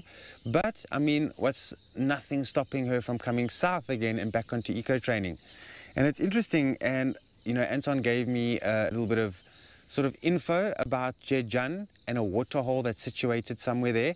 And you know, often, and this happens in a lot of game reserves where you have traversing agreements and you get to a certain road and you can't cross anymore. So on Jejan cut line, there's a waterhole just north of the cut line, so in Jejan land. And often enough, when we have animals that go up into the north and cross that Jejan cut line, it's easy for us to say, right, well, that's it, the animal's gone, let's go south and carry on and look for something else. But a lot of the animals, they go to that waterhole and drink and then come back down south. And uh, apparently, if you just stick around on the cut line, once the animal has disappeared going north, just stick around and sometimes it's been observed that the animals go back south. So yeah, just a quick drink of water. Right, so there's another pair of Egyptian geese that have made their way to the waterhole at the moment. Now this pair that's already in the water are not going to take lightly to that because they've got offspring or young. And sometimes other Egyptian geese have been known to attack other uh, mating pairs' offspring to enhance the survival of their own offspring, but also to um, encourage more resources to be available around the waterhole. Otherwise, everything's going to get gobbled up and uh, they don't get a chance to feed. They have to move to another waterhole, areas of competition, entering areas where they don't know what predators are doing over there. So once the Egyptian geese find a waterhole, they try and be the dominant pair at that waterhole.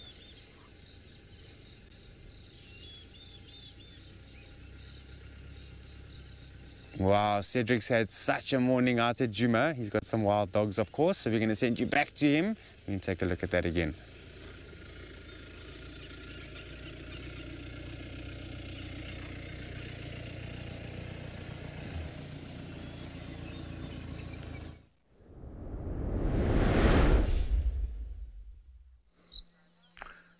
Thank you, Andrew. Yes, they are still being very lazy. No change at all. The only update that I got here and the only change is that they said they found the Nkuhuma lions, nine of them, at uh, on Triple M South at Safari, Arethusa Safari Driveway Junction. So that's, uh, so of course they went straight south. Oh, I was hoping that they were going to come east into Djuma, but unfortunately that has not been the case. But that's all right, we've got dogs, so that's fine. We've got the wild dogs.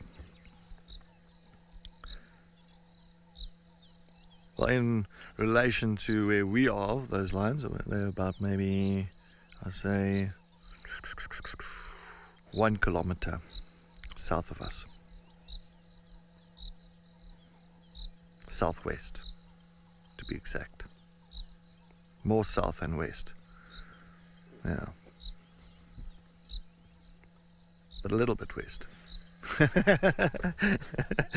Just a little bit.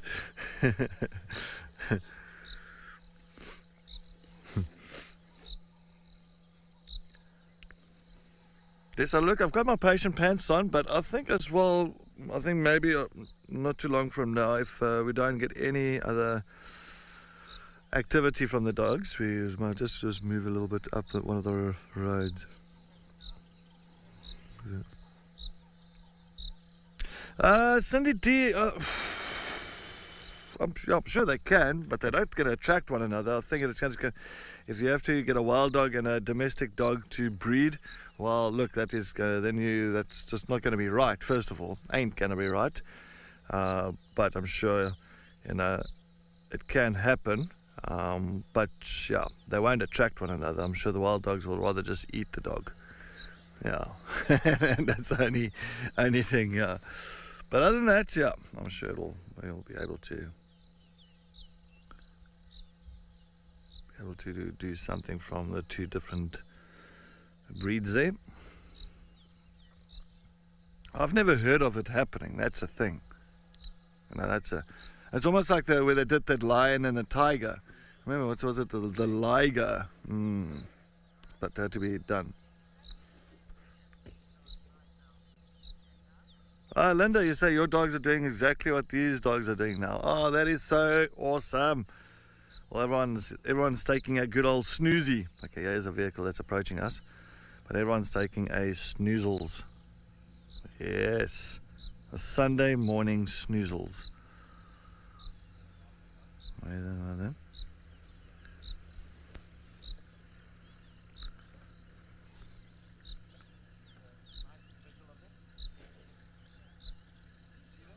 Sorry, there's another vehicle.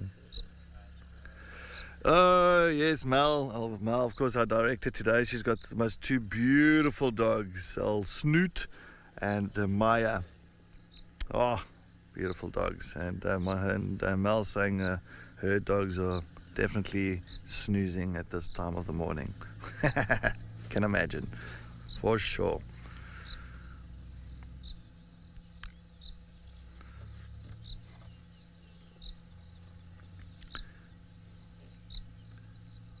Yeah, they might stay for a little bit longer, yeah, the dogs. I'm not too sure. Um, as I said, they haven't eaten. So, you know, if there is going to be something that's going to be walking through here, there is one impala there. It's down there. Far away, there's one female impala. Yeah, let's go take a look there quickly. It looks like a female impala with a, a lamb there. Is it a female? Yeah, it is. All by herself. There's just one female. So she is looking this direction. So that's it. That's that's a distance from where that impala is. So I think the wild dogs won't hang.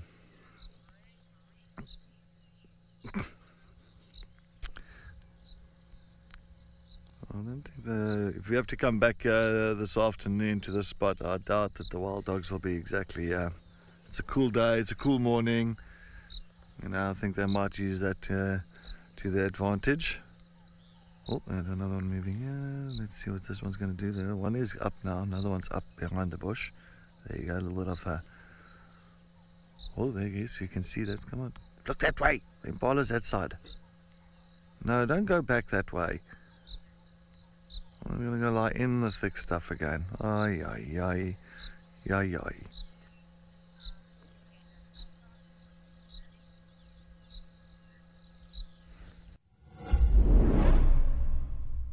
As we race towards 2024, we need to repair or replace quite a bit of technical equipment. We'd also like to expand into other wilderness areas, and for that, we need Starlink. We want to make 2024 the best in WildEarth's history. In the next seven days, we're going to run a donation drive to try and raise 15,000 US dollars.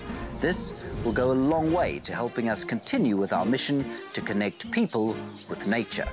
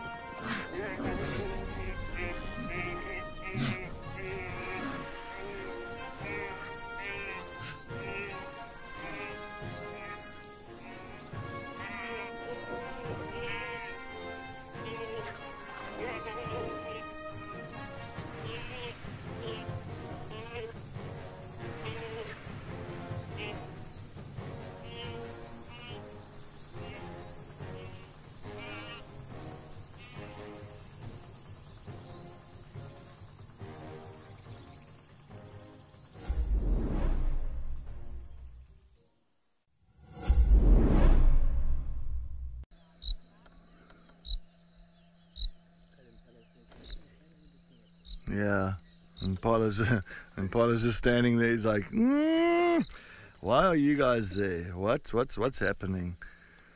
Is there something that you're looking at?"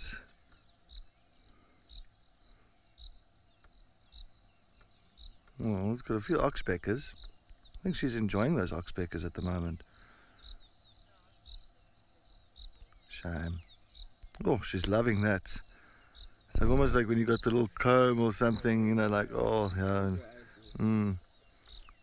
All those little birds, little oxpeckers. He combing through her coat, going into her ear. Nibbling all the little ticks out of the ears and that. Oh, she's loving that one on the left ear there. Mm. There we go. Almost like the dogs when you scratch a dog on the ear. It's like, oh, and then start shaking.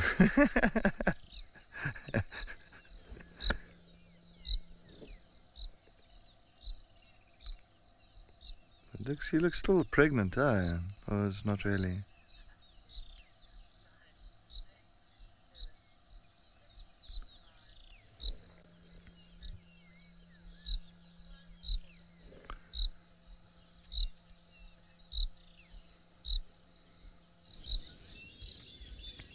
Right, so we've decided to stick around just a little bit more at Leopard Dam, and yeah, I'll admit we're having a, a quick coffee as well. but uh, it's such nice temperatures this morning, and it's just such a pleasure to be here uh, this morning, opposed to you know those blaring temperatures that we are used to out here. And I think the animals are enjoying it very much as well. Um, we can just hear a lot of the birds are making the most of these nice, cool temperatures.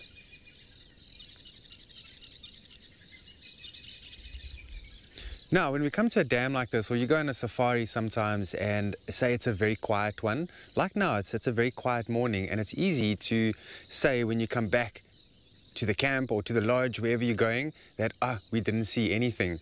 But actually, you know, even though we're here and there's no main mammals, no, no big mammals to be seen, there's always something else to be seen. So, for example, if we have a look at that white foam on the tree there, you can see there's evidence of an animal, the foam nest frog. And those are pretty cool in themselves. Now that's the average size one, so roughly the size of a cricket ball, but just being a little bit oval. But some of them can get double that size, and uh, the adults actually lay their eggs in that foam and it protects, you know, the eggs against the sun and things like that. And as soon as those tadpoles hatch, they're going to fall out of there and land straight in the water and start their life. I've never seen that personally, but it, uh, it has been recorded where you see the tadpoles actually, you know, falling into the water. Very amazing and an interesting way of breeding. Then when we look in the water, there's signs of other life. If you look carefully, you're just going to see a few little heads bobbing up and down. You have to look very carefully for these animals. And these are terrapins of sort. We had the Gosling family moments ago. So there's a lot of cool things in the, the, environment. You just need to look for them. And sometimes they don't come in the form of being big. Sometimes they're very small, but they're still interesting.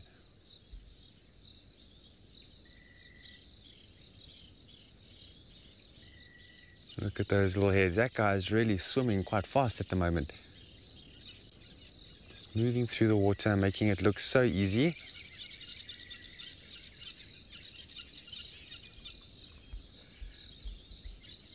All right, and there's also a three-banded plover. You see it, sorry Panda, I know you're on handhold over there, but just across there, there's a three-banded plover.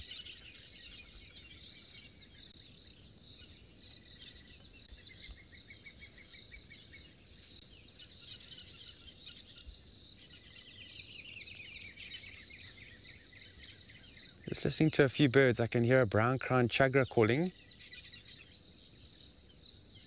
And if any of you enjoy bird watching, this would be the place to be. This is an almost like an oasis for all types of animals to come down.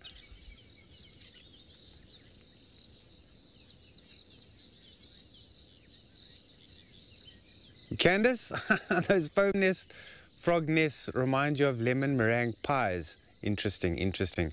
But there's, there's uh, talking about meringues. There's actually a company in the Eastern Cape that makes these meringues, and uh, yeah, I'm not one to eat meringues, but let me tell you, after I ate these meringues, and they've got these little chop- chocolate chips in them. Um, yeah, I, I, buy them every time I see them, and uh, I see my dad has also taken on to them nicely. But thank, thanks for bringing that uh, analogy up there. it does also look like that, uh, that lemon meringues. Sometimes it's amazing what we want to see in nature, not necessarily want to see in nature, but, but what we see in nature and can relate it to our own life, you know?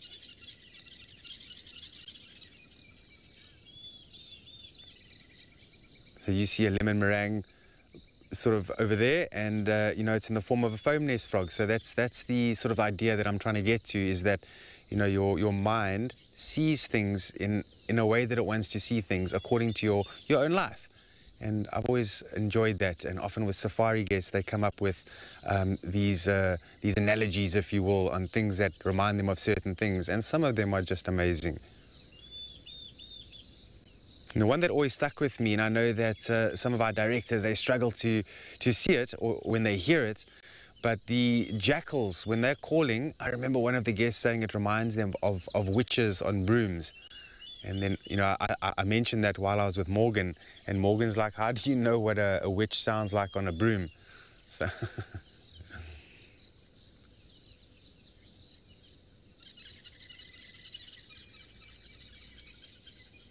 I see we've got uh, Jordan, our director, as well this morning at MC, Mission Control.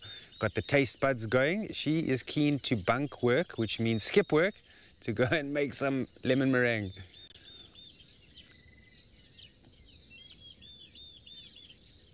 Pangolins galore, most definitely morning. Yeah, I would say, yo.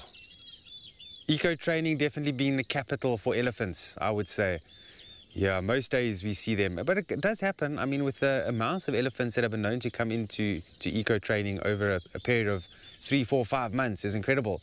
But sometimes we do go out there and we don't even see them. Amazing, such big animals, and sometimes the numbers in which they come in here and you just don't see them. So it just goes to show how um, the bush can really provide a lot of cover for animals, even those great big ones like elephants. But with the amount of water out at EcoTraining at the moment, Leopard Dam full, and Ndlovu Dam full, and there's also HQ Waterhole that's always got water. Now, the water is available here, so those animals that are really water dependent, they are going to venture here. If there's no water elsewhere, and that's the nice thing about being part of the Greater Kruger National Park, is that the animals, they will reconfine their, their movement patterns and I don't know if many of you know, but you know some of these areas used to be fenced off and independent of the Kruger National Park, and then became incorporated what they call the Greater Kruger National Park, like EcoTraining, and so on. And animals they start to recalibrate themselves and they start to shift their movement patterns according to what they can get to. Now, water being a very big one,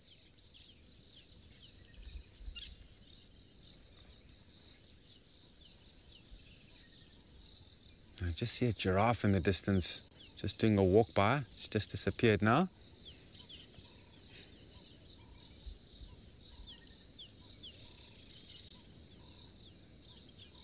Yeah, I am truly going to miss this place. Leopard Dam has always been very productive for us. Panda, you want to answer that? that one's for you. You spotted, did you? At least you're honest. I appreciate your honesty. So yeah, Panda said no, he didn't spot the giraffe. I managed to spot it, but it wasn't a difficult spot. But Panda picks up a lot of things, and what I like about Panda and the way he works the camera is that he, he will give me a signal that he sees something and uh, it gives me a chance to you know give him the thumbs up if it's a good idea to go to it because sometimes you know it's the animal's going to disappear.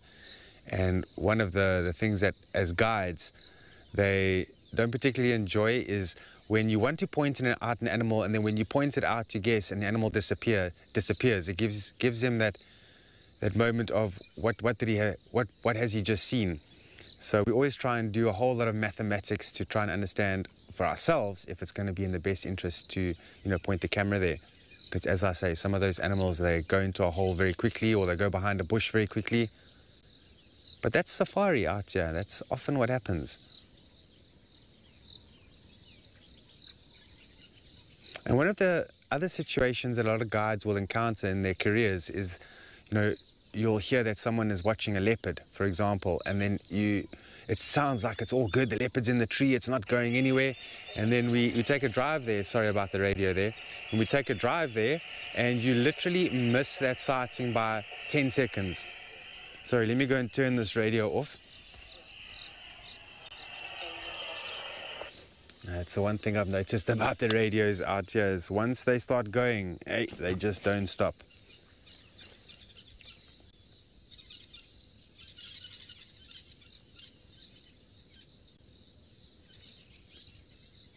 No, it seems like that giraffe doesn't want to come down just yet.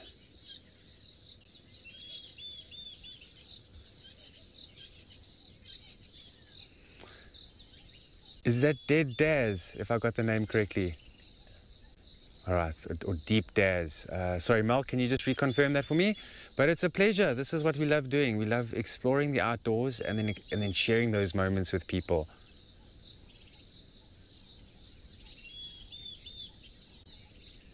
Deb Daz, there we go. All right, thanks Mel for that.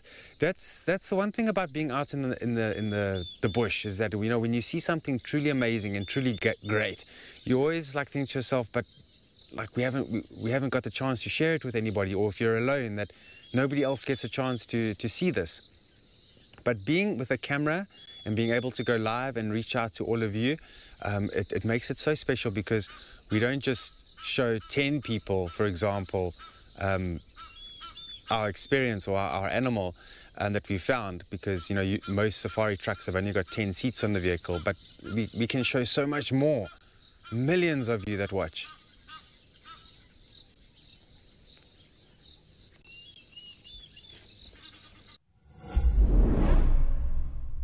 Are you in search of a unique, unforgettable adventure in the wild? Imagine living with the animals you see on TV while getting an inside look at how a live safari TV show operates. We're thrilled to offer this experience through our 7, 14, and 28 day EcoCam experiences. To book your spot, visit wildearth.tv forward slash EcoCam. Come and join us for the bush experience of a lifetime.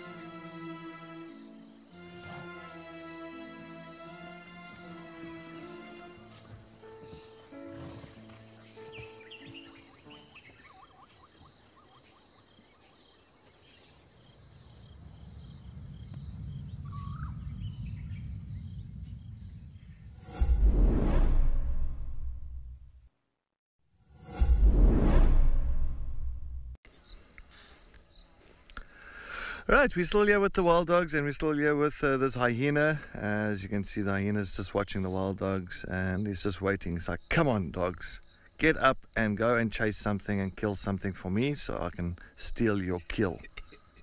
That's what it's doing. It's like it's just waiting. Uh, they got so much patience. Um, as you can see, the wild dogs still lying under the branch bush.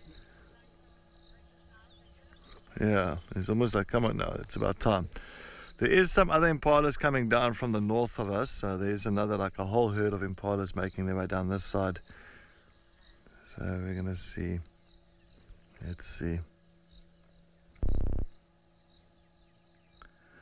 And that's one animal that's got a lot of patience is the hyena. Wow, that is one. I can tell you now. Seen them wait and wait and wait.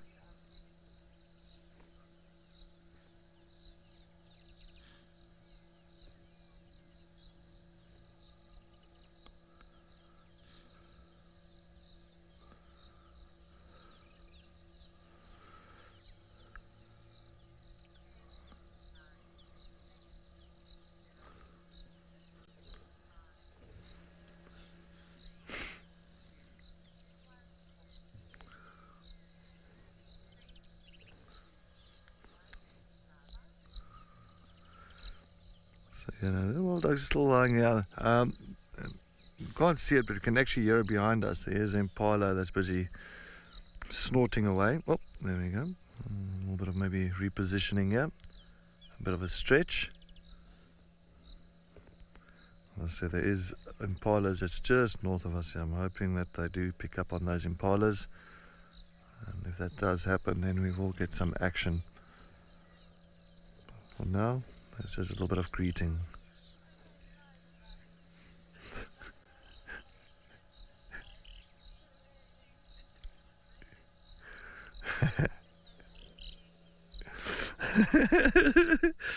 so of course Mal and Jordan, our directors, are just absolutely in tears in uh, FC at the moment because of the hyena in the background. That poor hyena is just waiting. It's like, come on, I need to, I need, I need this to happen now. Come on. Please, wild dogs, go and get something for me. uh, that is quite funny. And the thing about the hyena, even if there is four wild dogs, they'll still steal the kill. Oh yeah. Ah, Sir 50 for sure. I think uh, hyenas are so, look at it again. Hyenas are so fascinating. They're amazing, amazing scavengers, amazing predators. You know, they they they're the ones that are like they're so persistent with uh, with getting something. You know, even if it's a pride of lions that's on a kill, you know, they'll wait, they'll wait, they'll wait for backup from other hyenas, and eventually, if there's enough of them, then they can start really start irritating the lions around the kill, and eventually the lions are like, okay, you know what? That's it. We've we we finished. We're done. You you won. We're gonna move off. So yeah, but look at that face. Look at that face. a nice, easy way to identify this one with a little nick on the left ear. So that left ear, on the top of the left ear, it's got a little nick out of it. So one of the immigrant males. I don't think I've seen him before.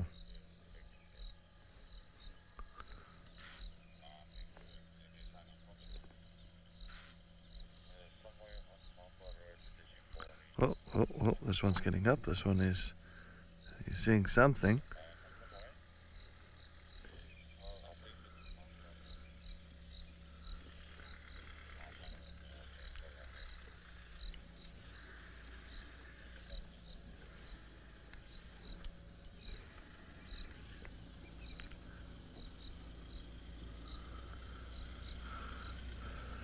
So I'm just trying to guide the other vehicle in here at the moment.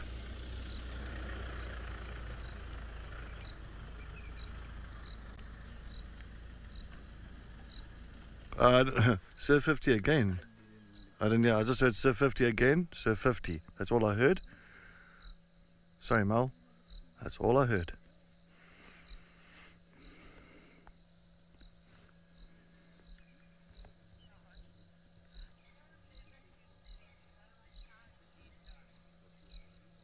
Ah, Thanks, F50. Yes, of course, we'll spend some quality time with uh, wild dogs. I mean, you know, it is always nice, and it's always you have to expect the unexpected. Sorry, I don't, I'm not going to talk too loud. But there's another vehicle that's just come in. Yeah, I think I need to also lower my voice. Yeah. Uh, sometimes I get excited when I talk, and then I raise my voice to terrible levels. Look at that one. that one is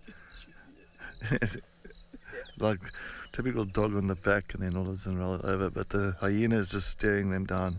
It's like, come on. This is going to happen.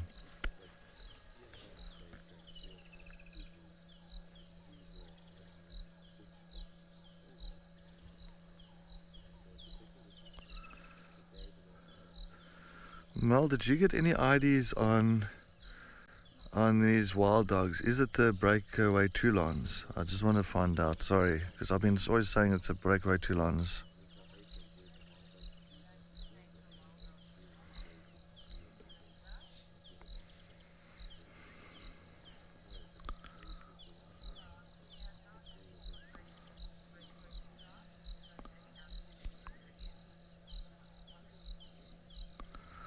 Yeah, please. It'll be nice to know, but uh, which um,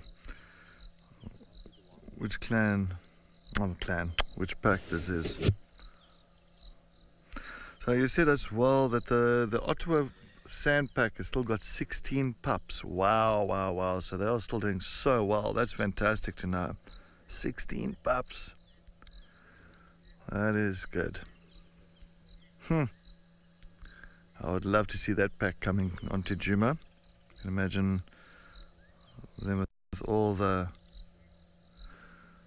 with all those pups running around and the adults 16 I think they at Othawa I think they 7 8 so if it's 16 with 8 uh, 24 24 wild dogs running down the road. That would be fantastic.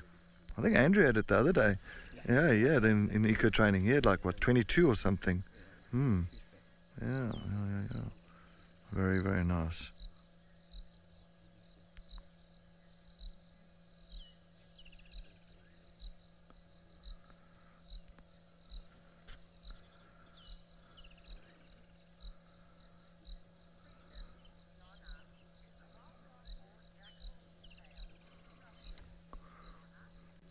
Wild dog or jackal tail? Well, if we're actually looking at size wise, if you're looking at a side striped jackal, look at their tails, they're nice and big and fluffy. So I would say a jackal, by size wise, um, has the fluffiest tail between the wild dogs and the jackal. I think the wild dog tails is not as fluffy, it's nice, it's long, but it hasn't got that real fluffy look to it. So I think a side striped jackal's got the fluffiest tail. Yes. And then you've got the, out of size wise, the most fluffiest tail would be the, I think the white-tailed mongoose. White-tailed mongoose, oh, have you seen there? They got those big white fluffy tails. Mm, you just see more tail than body.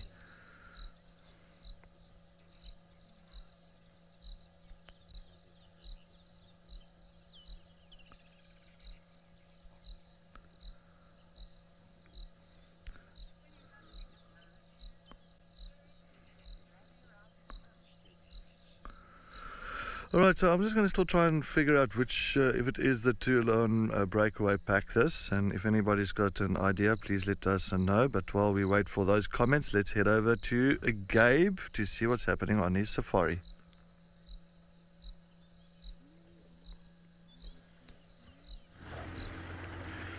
Oh, sorry, folks.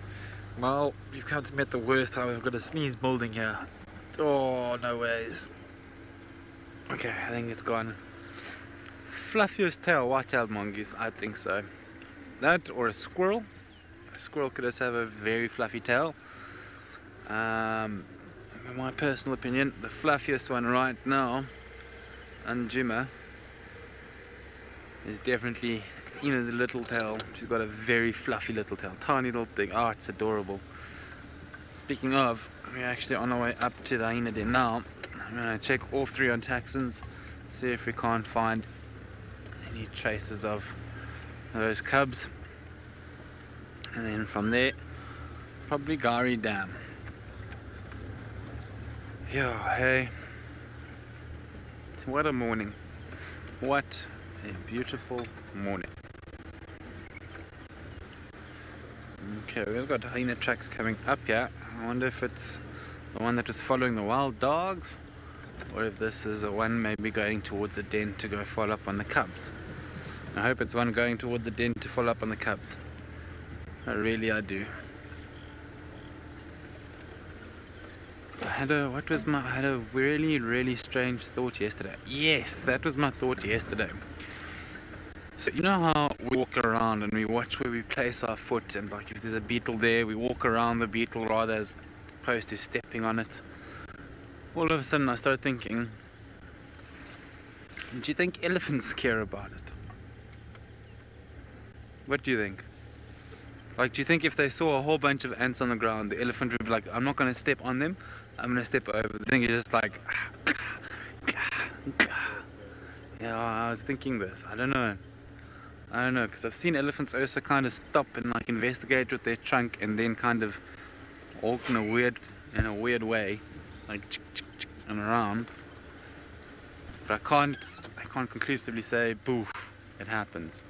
I just thought, shame. Imagine being like two little beetles. You're busy fighting over whatever you have to. And next minute, squash. Elephant comes in, game over. Finished. Pelile. Okay, here's the one den. Let's see what's been happening here. It's very strange. It looks like it's even more dug out than what it was two days back. It doesn't look like there's anything on top of those elephant tracks.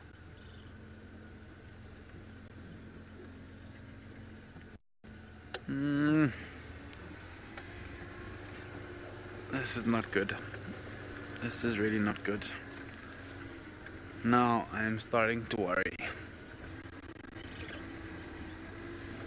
Now I'm really starting to worry and I just can't think about where Maybe Cedric might know of another place or you might know of another a den that they might have used.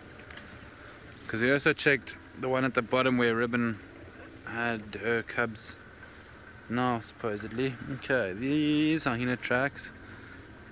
Look like they're coming up and there's small tracks here as well. They look like June June's cubs tracks. But I don't see little Ina tracks. And they're going up this way up towards that den that we just came from. Okay, well that's good news. At least one little cub is still there. Oh, into the small little tracks though. You know, they walked from here up this road and back that way. But no small little tracks, no Ina tracks. Uh-oh.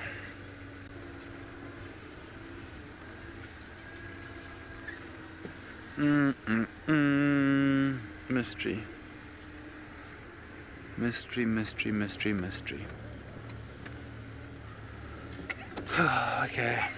Let's go check the second, the other den on the western side.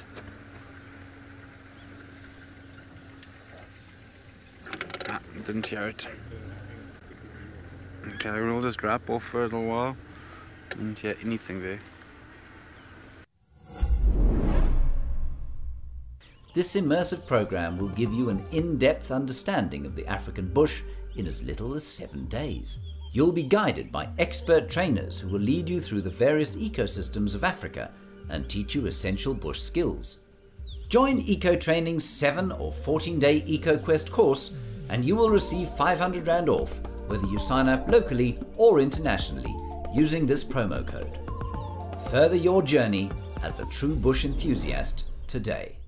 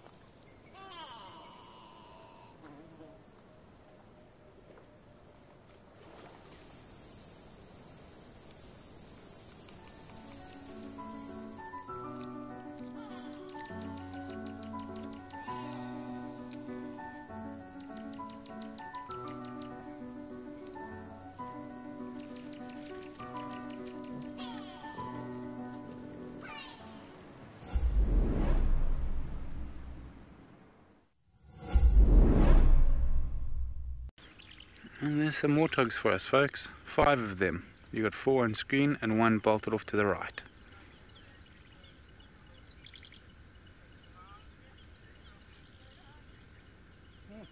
Let's see, maybe then it's sit down again. I wonder what they were sitting on there, if they're in a mud wallow, if it was just a nice little open clearing. Ah. You know what? We are now in the alert zone. Looks like we might go into the warning zone shortly. And then they'll, they'll definitely run off. But this is a prime example of the alert zone. This is a perfect example. If they had teeth or growling, or, then we'd be in a warning zone. And then the danger zone. Ah, da, da, da, da, danger zone. Very cool. Warthogs with nice white tushes mimicking tusks, so they must be. Oh, there goes all five of them. Lovely. Tails up in the air, little follow me mechanisms, like little aerials, helping them spot each other in the tall grass. Hmm.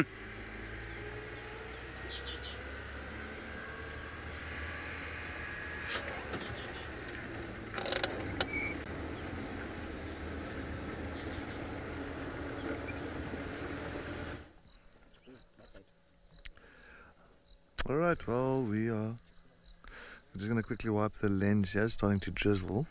Sorry, I just want to quickly make sure that we wipe the lens there.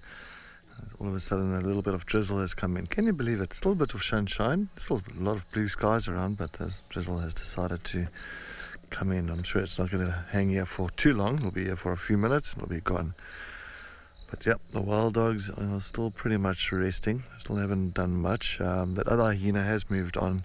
I think moved off to a little, to another little spot and decided to take a little bit of cover and wait for these dogs to get moving. But I just want to say thank you so much, uh, Giraffe Girl. I see that you have been showing um, some photos and all that and pictures of where about we are with these wild dogs and where the nkuhumas have been sighted. I took a look and I do appreciate that you have put that on and so everybody can at least understand the areas on Twitter or X.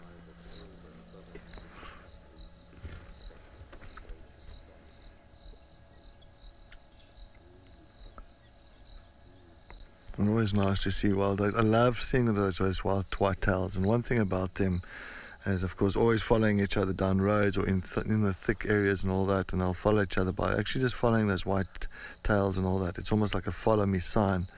As well as if they do make a kill somewhere, what they'll do while they're busy feeding on the kill and other members are trying to look for them, what they'll do, they'll actually lift their white tails up while they're busy feeding, almost like a white flag and then they can at least say, listen, we are here, this is where we are, this is where we are busy feeding on a kill, come and join us. So they use those tails quite intensively for those purposes. Sorry, Mel, go again. I did not uh, copy what you said there. My earpiece just popped out for some reason.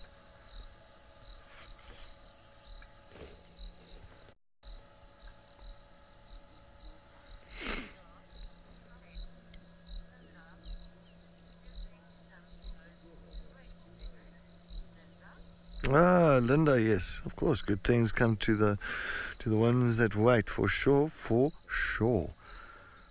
As I say, I'm waiting. I'm waiting. Never know what just uh, might happen in the next few minutes. Yeah, that's what I said about two hours ago. But uh, uh, but it's all right. Nothing wrong with waiting and sitting with these beautiful, beautiful animals. Mmm. Oh, don't even say that, Mel. So Mel's saying Murphy's Law. What's going to happen is as soon as the show is over, these dogs are going to run for something, run, run after something. And as soon as I say, thank you for joining us, goodbye, all of a sudden they'll bring down an animal.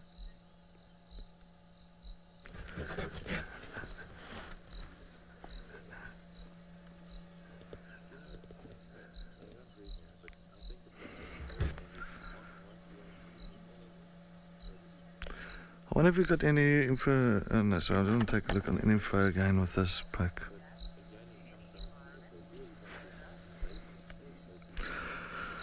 Rolo, yes, I'm sure they can adapt to a lot of different kinds of environments. I mean, you get them in Botswana, you get them in Namibia and semi-arid areas. So yes, I think wild dogs is pretty much uh, adaptable for a lot of different kind of environmental kind of changes. Um, if you're actually looking at something like a cheetah, different. I mean, a cheetah will really struggle to adapt in very thick vegetation because it needs the speed, it needs that open clearing, open space. So I think a cheetah is different. Where a leopard as well, a leopard is one of those ones where it'll adapt to hills and it'll adapt to the drainage lines, to thickets, to open clearings. And uh, wild dogs the same thing. So yes, no, I think they they won't have, they won't struggle too much if uh, you know if this was like a semi-arid area at all. I'd love to see. It. I know that they did such a beautiful documentary on wild dogs there in Botswana and uh, I remember in there in Botswana, um, I think who was it? it was Kim Kim Wolhuter. Oh, Impala's coming running straight towards him. Something's happening here. Sorry, there's Impala behind you. Uh, she, she, didn't even see them. She came running straight towards this side, but she's looking at something further up the road. I'm not too sure. Sorry, I've just seen Impala behind us, but he's snorting now. No, no, no, it's fine. So I think she's maybe just picked up on the scent and she doesn't know what she's looking at. So I think we're just going to sit back here and see what plays out. Not that the dogs are showing too much interest. And that same female impala, that lonely one.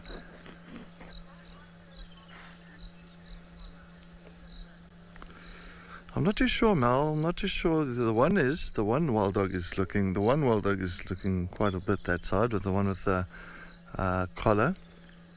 But I think as well as if they have to start chasing after that female, you know, the impalas are quick. Is it really worth uh, spending the energy on that on a single female? If she had maybe a lamb with a different story, it'll be a different story. But because it's she's in the open, I don't think they're going to get any closer to her than what they are now. That's how they realized that it's not worth it, not worth the effort. Sorry, my ear just went closed, completely closed. My left ear. Hmm, yeah. I'm talking inside of my head at the moment. No. Sorry. I think the best thing for a closed ear like this is olive oil. Oh, yeah. Well, surprise he's coming back. She's like, is there a possibility? Is there a possibility this time? Are these wild dogs going to do something for me now? You've got it. You've got it. Come on. I think he's. I think this. I think this uh, poor hyena thinks, okay, well, these four wild dogs are absolutely terrible to follow. I will never follow them ever again. What a bad idea. If I ever see you four again, I shall not follow you. You are the worst hunters ever. Bye bye. Done. oh, that's funny.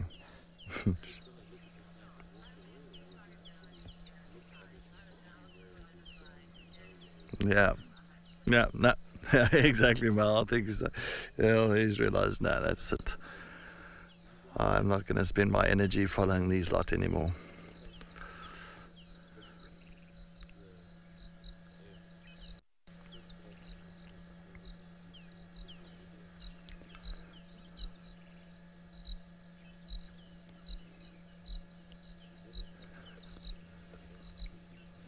Well, talk about spending some quality time with uh, with wild dogs this uh, this morning. Very, very nice indeed. Oh, hear that? Uh, oh, uh, wait, wait, hold on. We got something happening here. Maybe. Nope. You're not getting much out of these wild dogs.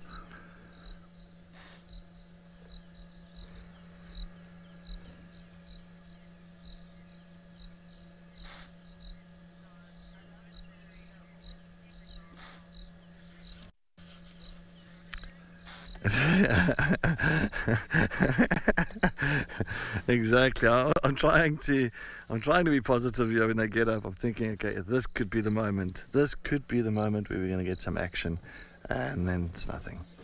But this could be the moment, and there's nothing. but the Impala's still behind us, just not far enough. Now the Impala's about, I say, 50 meters.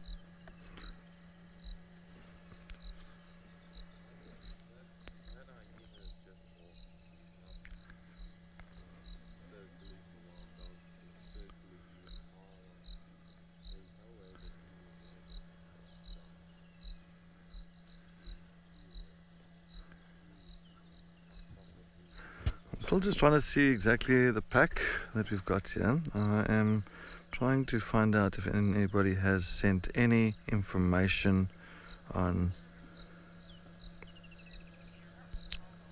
what pack we've got here. I still got the feeling there's a Toulon, the breakaway Toulon pack, but yeah, I shall double check.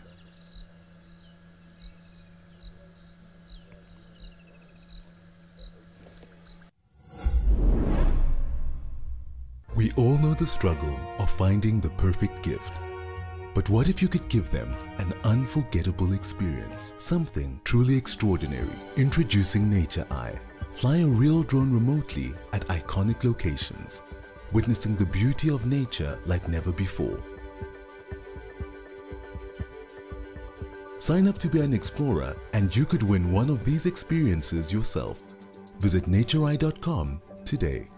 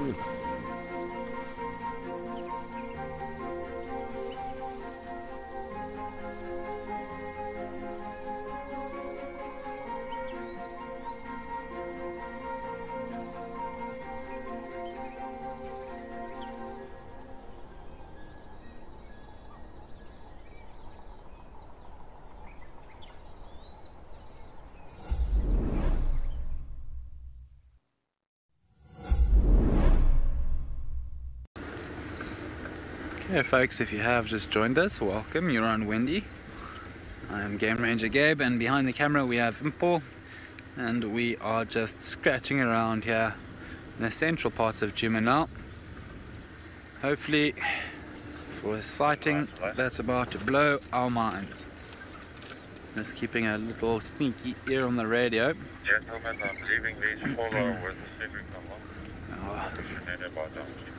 About them. I'm also looking my way more possible. Yeah, no great shakes. It's just a commercial vehicle leaving the sighting with Cedric. And that's about it. Yeah, please, do you copy for light of the um, block? In German. I'm just trying to see. Yes, he was looking for forming. Okay, no, they're looking for they're looking for each other there. Nothing too interesting. Nothing that's perked or piqued my interests. Lots of Impala tracks around here. No fresh elephant, rhino, buffalo, lion cheetah or leopard tracks around here. Oh, come on, please.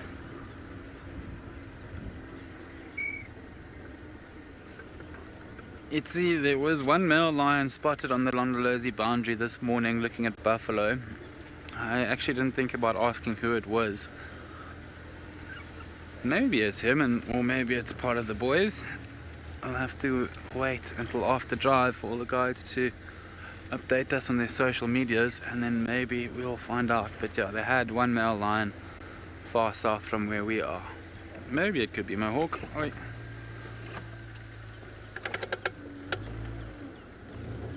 Uh, gone. I don't know if you. Uh, we had a little marsh terrapin. Or, yeah, it looks like a marsh terrapin. Busy walking around or crossing the road. He's in the grass here now. I'm not going to stick around with him for too long. Don't want to inconvenience his day. Oh, come on, Djuma. Just squeeze something out for us, please. Feels like we're just driving around with no real purpose or cause.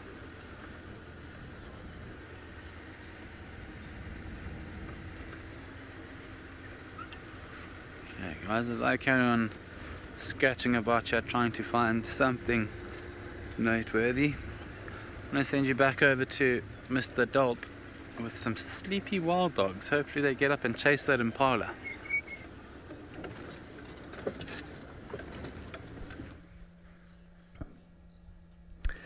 Oh well, that's all right. I tried. I was hoping that we were going to get a little bit of action, you know, during the drive with the wild dogs, and uh, you know, I was positive about it. But it's all right. At least we still get to see them. I can see this one's got his little head up. Yay! A little bit of a, a view on that one. But we'll try again this afternoon. We'll try again, come back around this area just to see if they might still be around. Yeah, I doubt it but you never know. See if we can find them once again.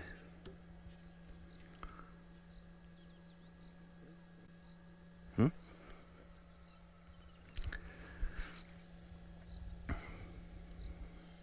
And also the other hyena that was here a little bit earlier on, the, that male, that immigrant male, he has uh, he decided to walk behind, and there was that uh, female impala that was alarm calling, and at uh, wild dogs, and it seemed like that impala was actually pretty much inching closer and closer towards the wild dogs, and I was getting quite excited. I thought, okay, well maybe, just maybe, we might get some action, and then all of a sudden. That hyena decided to spoil the entire show and chase the impala off, and then and the hyena as well just disappeared on top of that as well. So, yeah. Ooh, hello. Here we go. This one's got like a little black tail. See a black with a little white tip, eh? That one that just stood up there now. That was interesting. That was interesting. Hmm.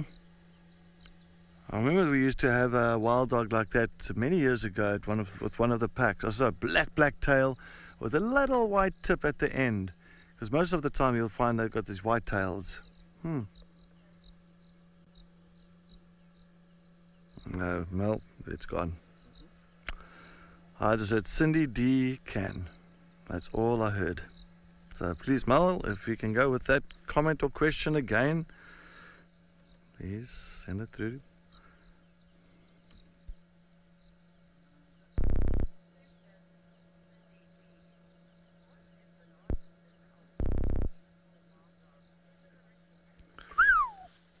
Wow, the largest. Well, wasn't this one of 19 was this one was 19 was huge. I mean, that is huge. What a litter of puppies. 19.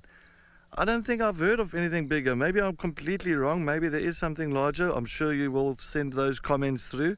Let me know. Let us know, please. But I thought that 19, I was quite uh, taken back by that size. Really taken back by the Sand Othawa pack. 19 pups. Oh my word. So if it's 19, maybe it can get into the 20s. Mm. Can imagine over 20 pups running around. Oh,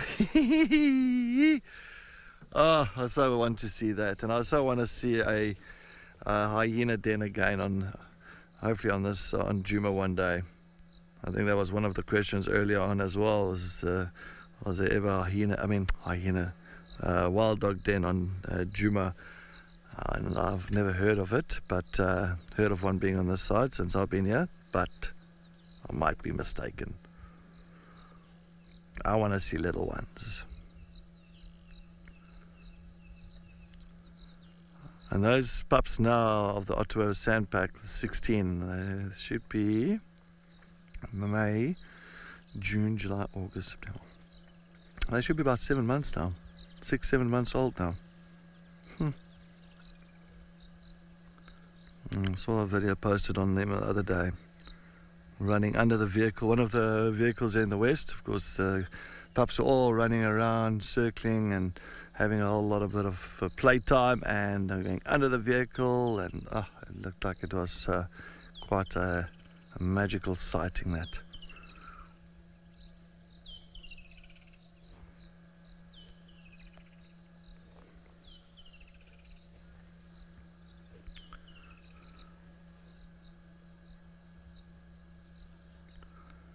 no uh, this pack itself, did they have pups this uh, year? I'm not too sure at all. I doubt it. Unless if they did, and then they might have lost the, the pups early on. But I haven't got much information on, first of all, which pack this is. I'm still trying to figure out. Still trying to figure out. Usually we'd get uh, information on it. But seems like not getting much now.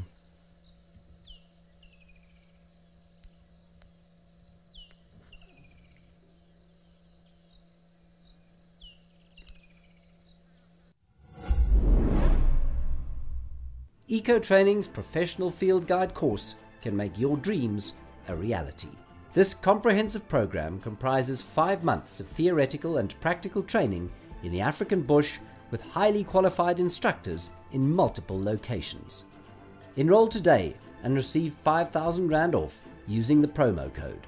If you've just finished school or tertiary education and you want to head into the wild, EcoTraining's professional field guide course is for you.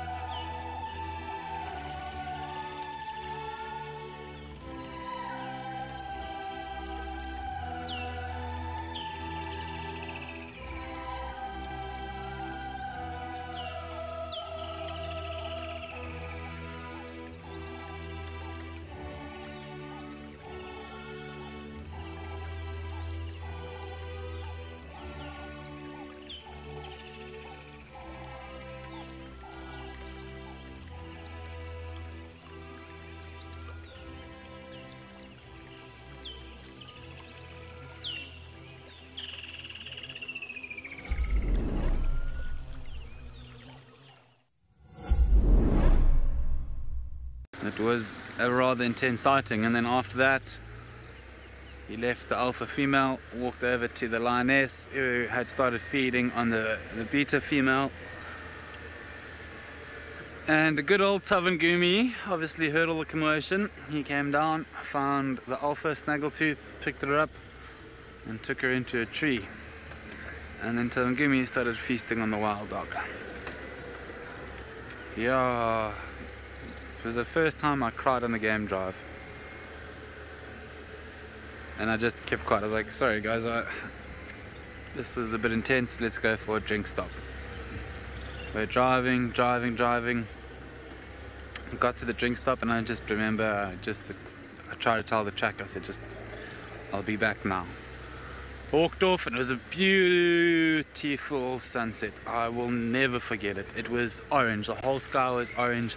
The clouds looked like little pillows, like little cotton wools. Oh, pink lining.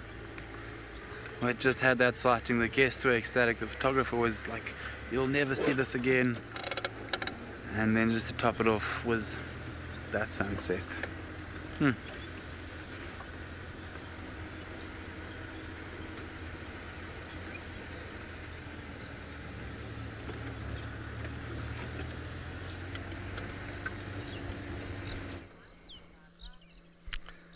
All right, well, it is unfortunately coming to the end of the show now, and I really did hope that uh, we were going to get some more action out of these wild dogs.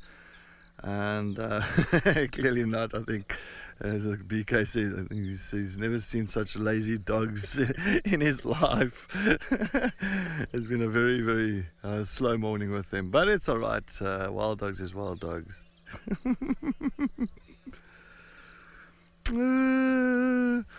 Yeah, Mel, maybe this will be the last, like the last two minutes, you'll see all of a sudden get all the action happening here. But I doubt it. Uh, I doubt it. It's all right. We'll try again this afternoon. I'm sure maybe Gabe will try and come into this area to see if he can follow up on these wild dogs and uh, get some action out of that. But uh, other than that, it's been a great morning. Oh, it's been fantastic. I've been I've been very chuffed. I think BK and myself were very happy, especially that there was so much drizzle this morning and for us to get to a perfect position to keep the dogs as well um, it all actually panned out and worked out just just perfect. So yeah and we got to see um, and two of the hyenas as well in Bilu and uh, surprise!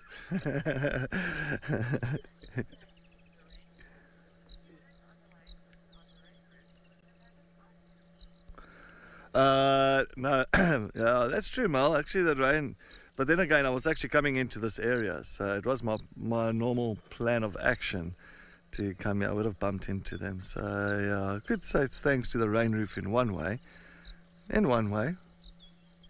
But yeah, it's all right, no problem. It was been, a lovely morning, wonderful, wonderful, wonderful. And we'll see what happens this afternoon again. Hopefully the weather clears up nicely for the day, which would be perfect for the afternoon.